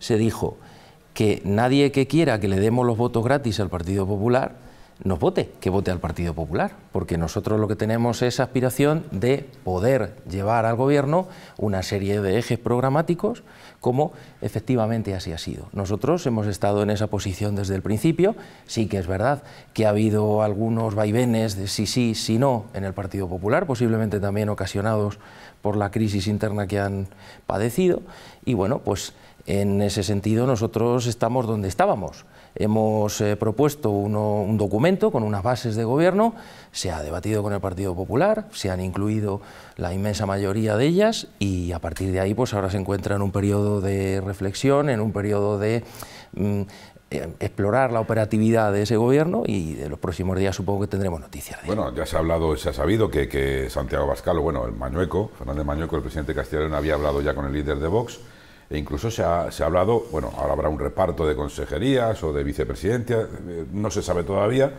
pero sí que se ha hablado incluso de la bajada de impuestos, de, lo, de todo lo que estamos hablando aquí, ¿no? Sí, se han puesto sobre la mesa una serie de ejes y uno de ellos, por ejemplo, es la bajada de impuestos. Otro es la defensa de los intereses de la agricultura, de la ganadería, el mundo rural. No en vano, además, el, lema de campaña de, Vox era siembra, muy relacionado, ¿no? Con, porque es un, sector muy importante en esa comunidad autónoma, igual que lo es en Castilla-La Mancha. Mm. Así que tomaremos buena nota. Diana López, ¿y desde el PSOE cómo se, que se está viendo? Ya hemos conocido muchas declaraciones. Una, pérdida de la calidad democrática, ¿no? Por pérdida de la calidad sí, democrática. bueno, pues por decirlo de, una forma muy dura, esto ya más que desde el PSOE te lo digo a título personal como mujer, porque a mí me gustaría saber si en ese eh, eje programático de los que está hablando eh, han incluido a, a, la hora de negociar a las mujeres o han incluido a la hora de negociar pues esa negación que hacen de la violencia de género. ¿Nos han incluido de alguna forma? Eso es lo que me gustaría saber, si el Partido Popular de repente se va a poner de acuerdo con Vox en este tipo de temas o si les va a dejar, pues bueno, eh, pronunciarse sobre ello o va a hacer oídos sordos, porque desde luego para las mujeres, insisto, es una pérdida de derechos, eh, yo creo la que propone este partido tremenda. Y luego, eh, otro análisis que sí me gustaría hacer es si ahora Vox va a entrar en gobiernos de las autonomías, ahora las autonomías ya sí le valen a este partido que las niega o siguen sin valerle, porque claro, no puede intentar, o de hecho no puede entrar en un gobierno autonómico como va a hacer y seguir negando la existencia de las mismas. Entonces, yo creo que en eso sí que deberían pronunciarse y tenerlo claro. Y luego, en lo que respecta al Partido Popular, yo creo que a Feijóo le ha durado muy poquito la careta de ser, eh, pues digamos, una persona más moderada que casado, ¿no? Porque se ha iniciado, se ha estrenado por la puerta grande ha llegado y lo que ha hecho de primeras ha sido permitir la entrada de la extrema derecha en un gobierno autonómico. Entonces esas son eh, las preguntas que, yo me hago y la valoración que yo hago de, este gobierno. Desde luego yo creo que perdemos todos con la entrada de Vox en un gobierno autonómico. Espero que no se extienda, creo que no se pueden extrapolar, de hecho, eh, las características de una región a la otra. Y yo creo que eh, el que más debe pronunciarse en este momento es el concejal de, Vox eh, sobre estas preguntas que me gustaría saber, pero por supuesto también el del Partido Popular. Sí, José Manuel Quijorna, Partido Popular. A ver, yo eh, una reflexión así muy rápida, sin conocer los pormenores de, ese pacto, porque realmente yo no, los conozco, no, no, me los conozco con esa actitud y, y, no me gusta opinar de los pormenores que no conozco. Pero sí dos cuestiones. la primera, pues eh, de alguna manera eh, creo que esa especie de autoridad eh, moral, desde el punto de vista democrático, que esgrime el Partido Socialista como un mantra, que repite como un mantra, pues ya no cuela. Aquí no hay ninguna pérdida de calidad democrática de nada. Esto está dentro de la democracia, dentro de los cauces constitucionales y hasta donde yo sé, todos los partidos que se presentan a unas elecciones, todos... Todos, efectivamente, los que vosotros negáis también. Todos. claro. Son, perdona. Nos vale para todos. Son constitucionales. Todos. Y están legalizados. Todos. Entonces, repetir como un mantra que esto es un ataque abominable a la calidad democrática de este país, pues mira, ya no se lo cree ni el tato. Pero ese es vuestro mantra. Perdona, por un momento. Entonces, Em, yo creo que, al fin y al cabo, eh, existe la necesidad de gobernar, existe la necesidad de tomar decisiones que beneficien a los ciudadanos, el pueblo ha hablado y, no hay nada que, espetar a esta, a esta cuestión, con independencia, insisto, de que no conozco los pormenores del pacto. Todos partidos, pactando también. Eh, Chema. Coincido con Diana en esa más que probable o más que probable y anunciada pérdida de calidad democrática, sobre todo para, para las mujeres. Ya lo han dicho, que su prioridad no pasa ni por la siembra ni por los agricultores, pasa por eliminar lo que ellos consideran chiringuitos ideológicos que tienen que ver ni más ni menos, ni más ni menos que con mil mujeres asesinadas en este país. Más de mil mujeres asesinadas en nuestro país. Asesinadas, no muertas. No se caen redondas en una esquina, las asesinan. Es curioso que el partido que no quiere las comunidades autónomas efectivamente ahora quiera gobernar una comunidad autónoma. Debe ser jugosísimo el acuerdo al que ha llegado con el Partido Popular que además al que ya le está marcando los mismos ritmos, cuando le dice, oiga, es que igual ustedes no se han pronunciado antes por su crisis interna, o sea, ya no solo antes estaban dentro, ahora veremos a ver quién está dentro de quién, ¿no? Antes decía, en tono entre jocoso y no jocoso, que eh, Vox estaba dentro del Partido Popular y por eso en el 2011 Vox no estaba, ahora veremos a ver quién está dentro, dentro de, cada uno de ellos. Y cuando hablaban de, de que el mantra de la calidad democrática, para todas las circunstancias, las mociones de censura también son calidad democrática, ¿eh? Las mociones de censura que ustedes dos, los dos partidos, han negado casi constitucionalmente, también es calidad democrática. Y, me alegro que diga... en el Congreso de los Diputados, no lo olvidemos. Efectivamente, y me alegro que diga eso y que se lo cuente sus compañeros del Partido Popular esta visión que tienen a sus compañeros de Vox con respecto a Bildu, por ejemplo. El H. Bildu es un partido democrático que está en las Cortes, usted lo dijo. Si se han presentado a las elecciones y son legales, son democráticos. Yo también, yo también lo creo, ¿eh? Yo también lo creo. Cuénteselo a ellos. Voy a trasladar una pregunta, con vuestro permiso, eh, que está en la calle. Mm, y, es, es, la siguiente. ¿Por qué se pone el grito en el cielo? ¿Por qué se critica y hasta se desprecia este pacto? Y debe ser normal que el Gobierno de España haya llegado a acuerdos, o por ejemplo el Gobierno de Navarra, o el de Andalucía con Susana Díaz, hayan llegado a acuerdos y pactos compartidos no nombraré a ninguno, pero donde algunos de sus eh, miembros no condenan la violencia de ETA. Hay algunos miembros de Bildu que no...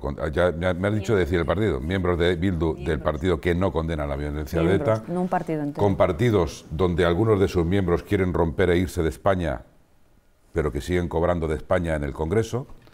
¿Por qué no se acepta el pacto, es la pregunta que está en la calle, de PP y de Vox? Y es normal y democrático que el gobierno pacte un gobierno con partidos que tienen lazos comprobados y que se jactan de tener relaciones y algo más con gobiernos tan antidemocráticos como Venezuela o Irán u otros ¿eh? países. No lo pregunto yo, ¿eh? la pregunta se la hace mucha gente en la calle. ¿Por qué con unos sí, a la izquierda, y por qué con los de la derecha es imposible el pacto, Diana? No se trata de con unos sí, con otros no. de, primeras, no, no, no, no. Pero déjame, déjame, déjame, hablar, Jesús, por favor. Te lo vuelvo a De, de primeras, eh, de primeras eh, decir que nosotros desde el Partido Socialista de Castilla-La Mancha siempre nos hemos posicionado a favor de la unidad de España y siempre vamos a condenar la violencia de ETA. Partimos de ahí. Luego, que haya miembros de un determinado partido que no condenen esta violencia, estamos hablando de miembros que se con ellos. individuales, individuales. Ahora bien, aquí estamos hablando de un partido entero que niega la violencia contra las mujeres, Jesús. Y a mí lo que me gustaría saber ¿eh? de estas mil mujeres asesinadas que estaba hablando Chema, si le van a mirar a la cara y les van a decir a la familia de estas mil mujeres asesinadas, porque obviamente a ellas no se lo van a decir, o de todas las mujeres que han sido asesinadas aquí en Castilla-La Mancha hace poco tiempo, si nos van a decir desde el Partido Popular de Castilla-La Mancha si ellos también están dispuestos a, gobernar, a gobernar con ellos. hombre, la niega, la niega, se opone rotundamente a ella y efectivamente habla de ideología de género, de chiringuitos ideológicos. No, no, chiringuitos ideológicos niega, también lo piensa mucha niega gente. Que hay la violencia que hay mucha machista, gente que está. Niega la violencia machista. Y Vox va a gobernar. Bueno, Dice mucha, que existe hay muchos violencia. españoles que piensan pero que hay subvenciones bueno, para como hay muchos españoles, como hay muchos españoles que defienden otras muchas cosas. Lo que yo quiero saber, efectivamente, ellos se pueden defender muy bien. Lo que yo quiero saber, y vuelvo a preguntar, es si desde el Partido Popular de Castilla-La Mancha están abiertos a este tipo de pactos, porque yo creo que a los castellano-manchegos y las castellano-manchegas lo que nos interesa saber es si este tipo de pactos, una vez que lleguen las elecciones autonómicas, nos pueden llegar a nuestro Javier. Parlamento. Mira, yo lo digo mirando a los ojos, Diana. nosotros no negamos ninguna violencia, ninguna. Y de hecho lo puedes comprobar. Lo voy a comprobar ahora mismo. Decís que es violencia por favor, machista. Déjale que termine, por favor. Te dejan hablar ellos. Es que no negamos. y él también va a decir ni cosas negamos, serias para ni él. negamos la violencia, ni tampoco negamos a nadie que pueda hablar. A ver, eh, lo único que hay que hacer es leer el programa de Vox, que está colgado en la página web, además. Las 100 medidas de Vox. Léedlo, por favor, que nosotros no escondemos el programa, que está ahí siempre. Y podéis ver que la única crítica que nosotros tenemos es la siguiente, y además creo que está fundamentada. No puede ocurrir que exista una ley donde las penas sean diferentes para hombres y mujeres. Luego está. estáis negando no la violencia no. No, no, no, no, no. Lo que estamos diciendo, no, eso no es verdad. Ah, no. No, no estamos, no, porque nosotros precisamente somos el único. Diferentes tipos de violencia. No, lo ah. no, al contrario. Si lo que estoy diciendo es precisamente que no puede haber dos penas diferentes en función de si es hombre o mujer. No puede ser. La pena es diferente porque la violencia es, diferente. En el momento que vosotros no queréis reconocer que las mujeres sufrimos un tipo de violencia determinado por el mero hecho de ya ser no mujeres y que lo sufrimos ya de no forma estructural, no es están negando la violencia machista. Pero, ya no es un partido el partido democrático. es democrático. Si somos, sus medidas si no lo son tanto en el momento que nos si hacen perder parece, derechos a las mujeres. ¿No os parece democrático, Bildu, cuando decís que no condenan el terrorismo? Pero ¿cómo, va, pero ¿cómo va a ser democrático un partido eh, que, que su origen y su semilla está en la ETA. No te lo digo como te lo digo. Y también mirándote los ojos. Que su semilla, su gen, su germen, el de Bildu, está en la ETA. El, los que han matado 800 personas. Estás hablando de, violencia de género de mujeres. Y yo, y yo Estos hombres han matado gente inocente también. Sí, ah, claro. Claro. no somos inocentes, hombre, por favor. No, no, escucha. Pero vamos a ver, no me metas en el tema de la violencia de género porque yo ah, soy un grandísimo defensor de la mujer, sobre todo. Pero ETA. Pero de la violencia de género estamos hablando no, yo de no, no. De Vox. Ese sí que es el mantra de PP. Para, el para el 99% de los españoles no, es un No, no, pero que no les pongan la pelota en los pies. Pero está ahí. Que no les pongan la pelota en los pies. Pero está en el Congreso. Son partidos democráticos. Ahora, los valores que defiendan probablemente no los sean. Pero ¿por qué pactos a la izquierda sí? Vuelvo a preguntar. ¿Y por qué pactos a la derecha no? José Manuel, yo creo que es una pregunta de estar en la calle. De verdad, la gente no se le puede tomar por tontos. Pero vamos a ver. ¿Vale? Que entiendo que tú no compartas lo que dice Vox, pero Vox tiene también otra Está, la ha votado mucha gente. Nadie en la izquierda Los está organizando han, un Toda la gente pero, que ha votado a Vox Diana pero, es antidemocrática. Lo mismo pueden pensar del Partido Socialista. Es que yo no estoy Nadie diciendo la que la gente que vota a Vox o que el partido sea antidemocrático. Estoy diciendo que tomas me medidas que hacen que las mujeres perdamos calidad democrática. Porque la Hombre. izquierda está pensando en dar un golpe de Estado, como en algún momento se ha dicho por parte de la ultraderecha. Efectivamente. Nadie en la izquierda, mm. con Castilla-León, está Ni pensando en, en dar un golpe de Estado. matar a nadie porque ¿Eh? tenía... Nadie. Nadie en la izquierda, izquierda, repu izquierda, republicana... Está un golpe de Estado izquierda, Castilla -León, izquierda republicana... En Castilla-León bueno, no en Castilla y León, nadie está pensando en dar un golpe de Estado. Sin embargo, otros, partidos de ultraderecha, partidos de ultraderecha sí han pensado en Y de ultraizquierda, izquierda republicana que quiere salirse de España, León, yo, yo ¿eso, es democrático? Los, mismos, los mismos que decimos que. Insisto una vez más, los partidos son democráticos. Estoy tomando partido Las medidas ¿eh? que perjudican al 51, y además de forma muy descarada lo estás tomando, las medidas que perjudican al 51% de la población de una forma tan flagrante como es el hecho de que nos asesinen por el mero hecho de ser mujeres, sí nos hacen perder calidad democrática, no, solo a nosotras, a toda la sociedad. Diana, no me digas que estoy, tomando, que estoy tomando partido de forma descarada, porque este, este, programa también, el, el, la segunda vez que lo he dicho, el presentador del programa no defiende eh, a nadie, pero simplemente defiende también su opinión, que es totalmente libre. No soy un muñeco. No, pero el tema de la violencia de género creo que es un tema bastante serio. Pues, y a lo mejor no comparto las cosas que, dice vos, efectivamente evidentemente y, y, creo que no es el debate. El debate es por qué se ah. hacen pactos de gobierno entre eh, la izquierda y no es, y es democrático y entre estos señores de la derecha, pues parece que son el diablo, ¿no? Eh. Sí, es lo que parece. Es lo que parece. Esos pactos de gobierno conllevan unos peajes muy caros. Esquerra Republicana es un país que se quiere salir de España que cobra del Congreso, que está. Al Partido atizando, Socialista de Castilla-La Mancha nadie le puede decir que, que, que vayamos a pactar con Esquerra Republicana. Y para vosotros es democrático. Bildu ha conseguido 25 millones de euros para las víctimas del amianto. ¿Las ha conseguido el PP? Y, y, también acercar. Y, ha conseguido vos, también ha conseguido vos, tampoco, ¿verdad? ¿Sabes qué votasteis para las víctimas del amianto de Toledo? ¿Sabes que votasteis para las víctimas del amianto de Toledo? No porque votaste no los presupuestos. Señores, José Manuel Quijorna está aquí, está aquí como el caballero de la triste figura que no es nada triste. Una, una pregunta, una pregunta y que me responda, porque no. como va a entrar ahora, yo digo que el Partido Socialista de Castilla-La Mancha no va a pactar con Esquerra Republicana. Ahora que nos responda el señor que representa al Partido Popular de Castilla-La Mancha si ellos están dispuestos a pactar con vos. Y yo pensaba que estábamos hablando de la gobernabilidad de Castilla-León y resulta que aquí se ha sacado una soflama oportunista. Sí, yo creo que se ha metido de todo. Oportunista desde el punto de vista político, con una vehemencia inusitada, lo, cual, me hace pensar, me hace pensar que eh, al PSOE y a Izquierda Unida pues le fastidia mucho que se produzcan estos, estos pactos para gobernar determinados territorios. Es la peor noticia para los castellano-leoneses. Sí, eso es lo que dices tú. y yo, y castellano. yo creo, Eso lo he dicho yo, y yo creo, y yo creo Para los votantes del PP de Vox, no. que Claro, para las castellanas y leonesas a lo largo del lo que tiempo lo será. intentan en extra- es extrapolar esta cuestión a otros territorios, a, a lo que es el Estado español. Y yo digo una cosa, eh, aquí el mayor, el mayor objetivo que existe es, eh, lógicamente,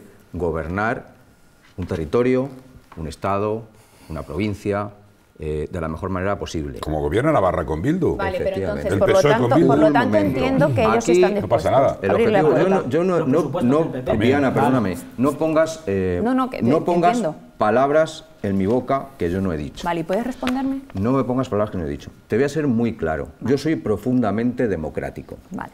Yo creo en la democracia. Bien. Creo que la democracia tiene una utilidad, más allá de los colores que tú representas, que tú representas o que tú representas. La democracia significa, significa fundamentalmente hacer la vida mejor a los ciudadanos. ¿Sí o no? Y te voy a decir una cosita.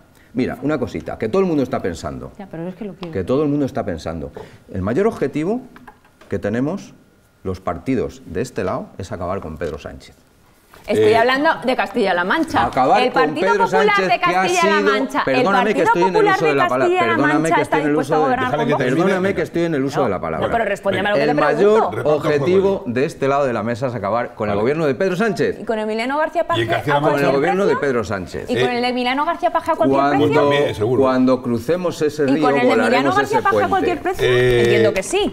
Dos preguntas Entre otras cosas, porque vuestro líder sabe que no va a ganar la Diana. ¿Sabes- Diana, sabes qué pasa? Que descaradamente Eh, también me estás quitando espacio. Escúchame ¿Sabes, una cosa. ¿sabes qué te digo con Que cariño. No me gusta vender la piel del oso antes de José cazarla. Manuel. Y hay una cosita que hay que respetar a los votantes. Y a los votantes les respeta cuando votan. Dos- y al eh, día siguiente de, la- de las elecciones es Pero a cuando los se toman votantes de las nacionales no, solo los de las Eh, autonómicas. Diana, por favor, no Diana, Diana, estamos fuera de tiempo.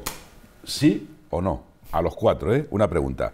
También nos preguntamos en la calle si esta será la misma tónica y tendencia en próximos comicios y en, y en otras comunidades, para no hacerlo tan directo como lo ha hecho eh, Diana López.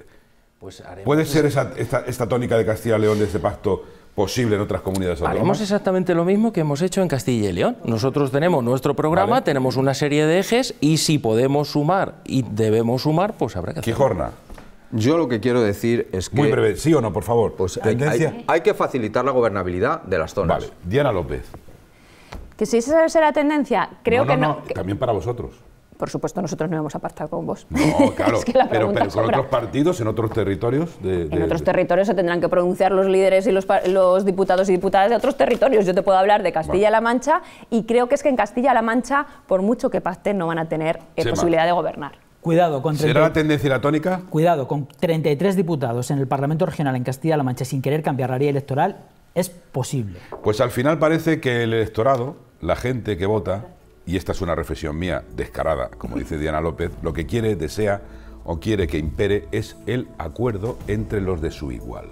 Lo hemos dicho varias veces aquí y lo hemos analizado en el braserillo. Es decir, no le quieren dar la mayoría, hablemos claro, ni a PP ni a PSOE. Y con ese voto disgregado les obligan o les dicen, oiga, la lectura del voto es pues que quieran que se entiendan este, entre ustedes, entre los de la derecha con los de la derecha y los de la izquierda con los de la, de la izquierda. Y que ni el PP ni el PSOE, ojo, salvo en algunos territorios, que está, está pensando Diana López, como el de Castilla-La Mancha, creo que también hay mayoría absoluta, sí, Asturias no, Asturias, Cantabria no. Bueno, en Galicia, evidentemente, en la Galicia de Fijón también, salvo en algunos territorios, el electorado no les da la sartén por el mango que se llama mayoría absoluta. ¿Estamos ante la aparición de bloques a la izquierda y a la derecha? Pues eso es lo que deberemos analizar próximamente. José Manuel Quijorna, gracias por estar con nosotros. Muy buenas noches. Muchas gracias por invitarme. Un placer eh, haberte tenido aquí, al igual que a ti, José Javier Camacho. Gracias, muchas a vosotros. Se nos ha hecho corto este bloque. Se ha pero hecho bueno. corto, intenso. Chema, muchísimas gracias. A Como vosotros. siempre, Diana López, un placer tenerte aquí. Muchas gracias. Y bueno, eso es lo bueno, lo ha dicho antes José Manuel, aquí opina todo el mundo libremente, se hacen muchos, muchas preguntas entre ellos y también quien les habla también opina. Eh, en una semana volveremos a encender, en siete días, con toda la actualidad de este braserillo, con todas las opiniones, por supuesto, libre, libres y libres. Hasta entonces, cuídense mucho, ahorren lo que puedan e intenten ser felices.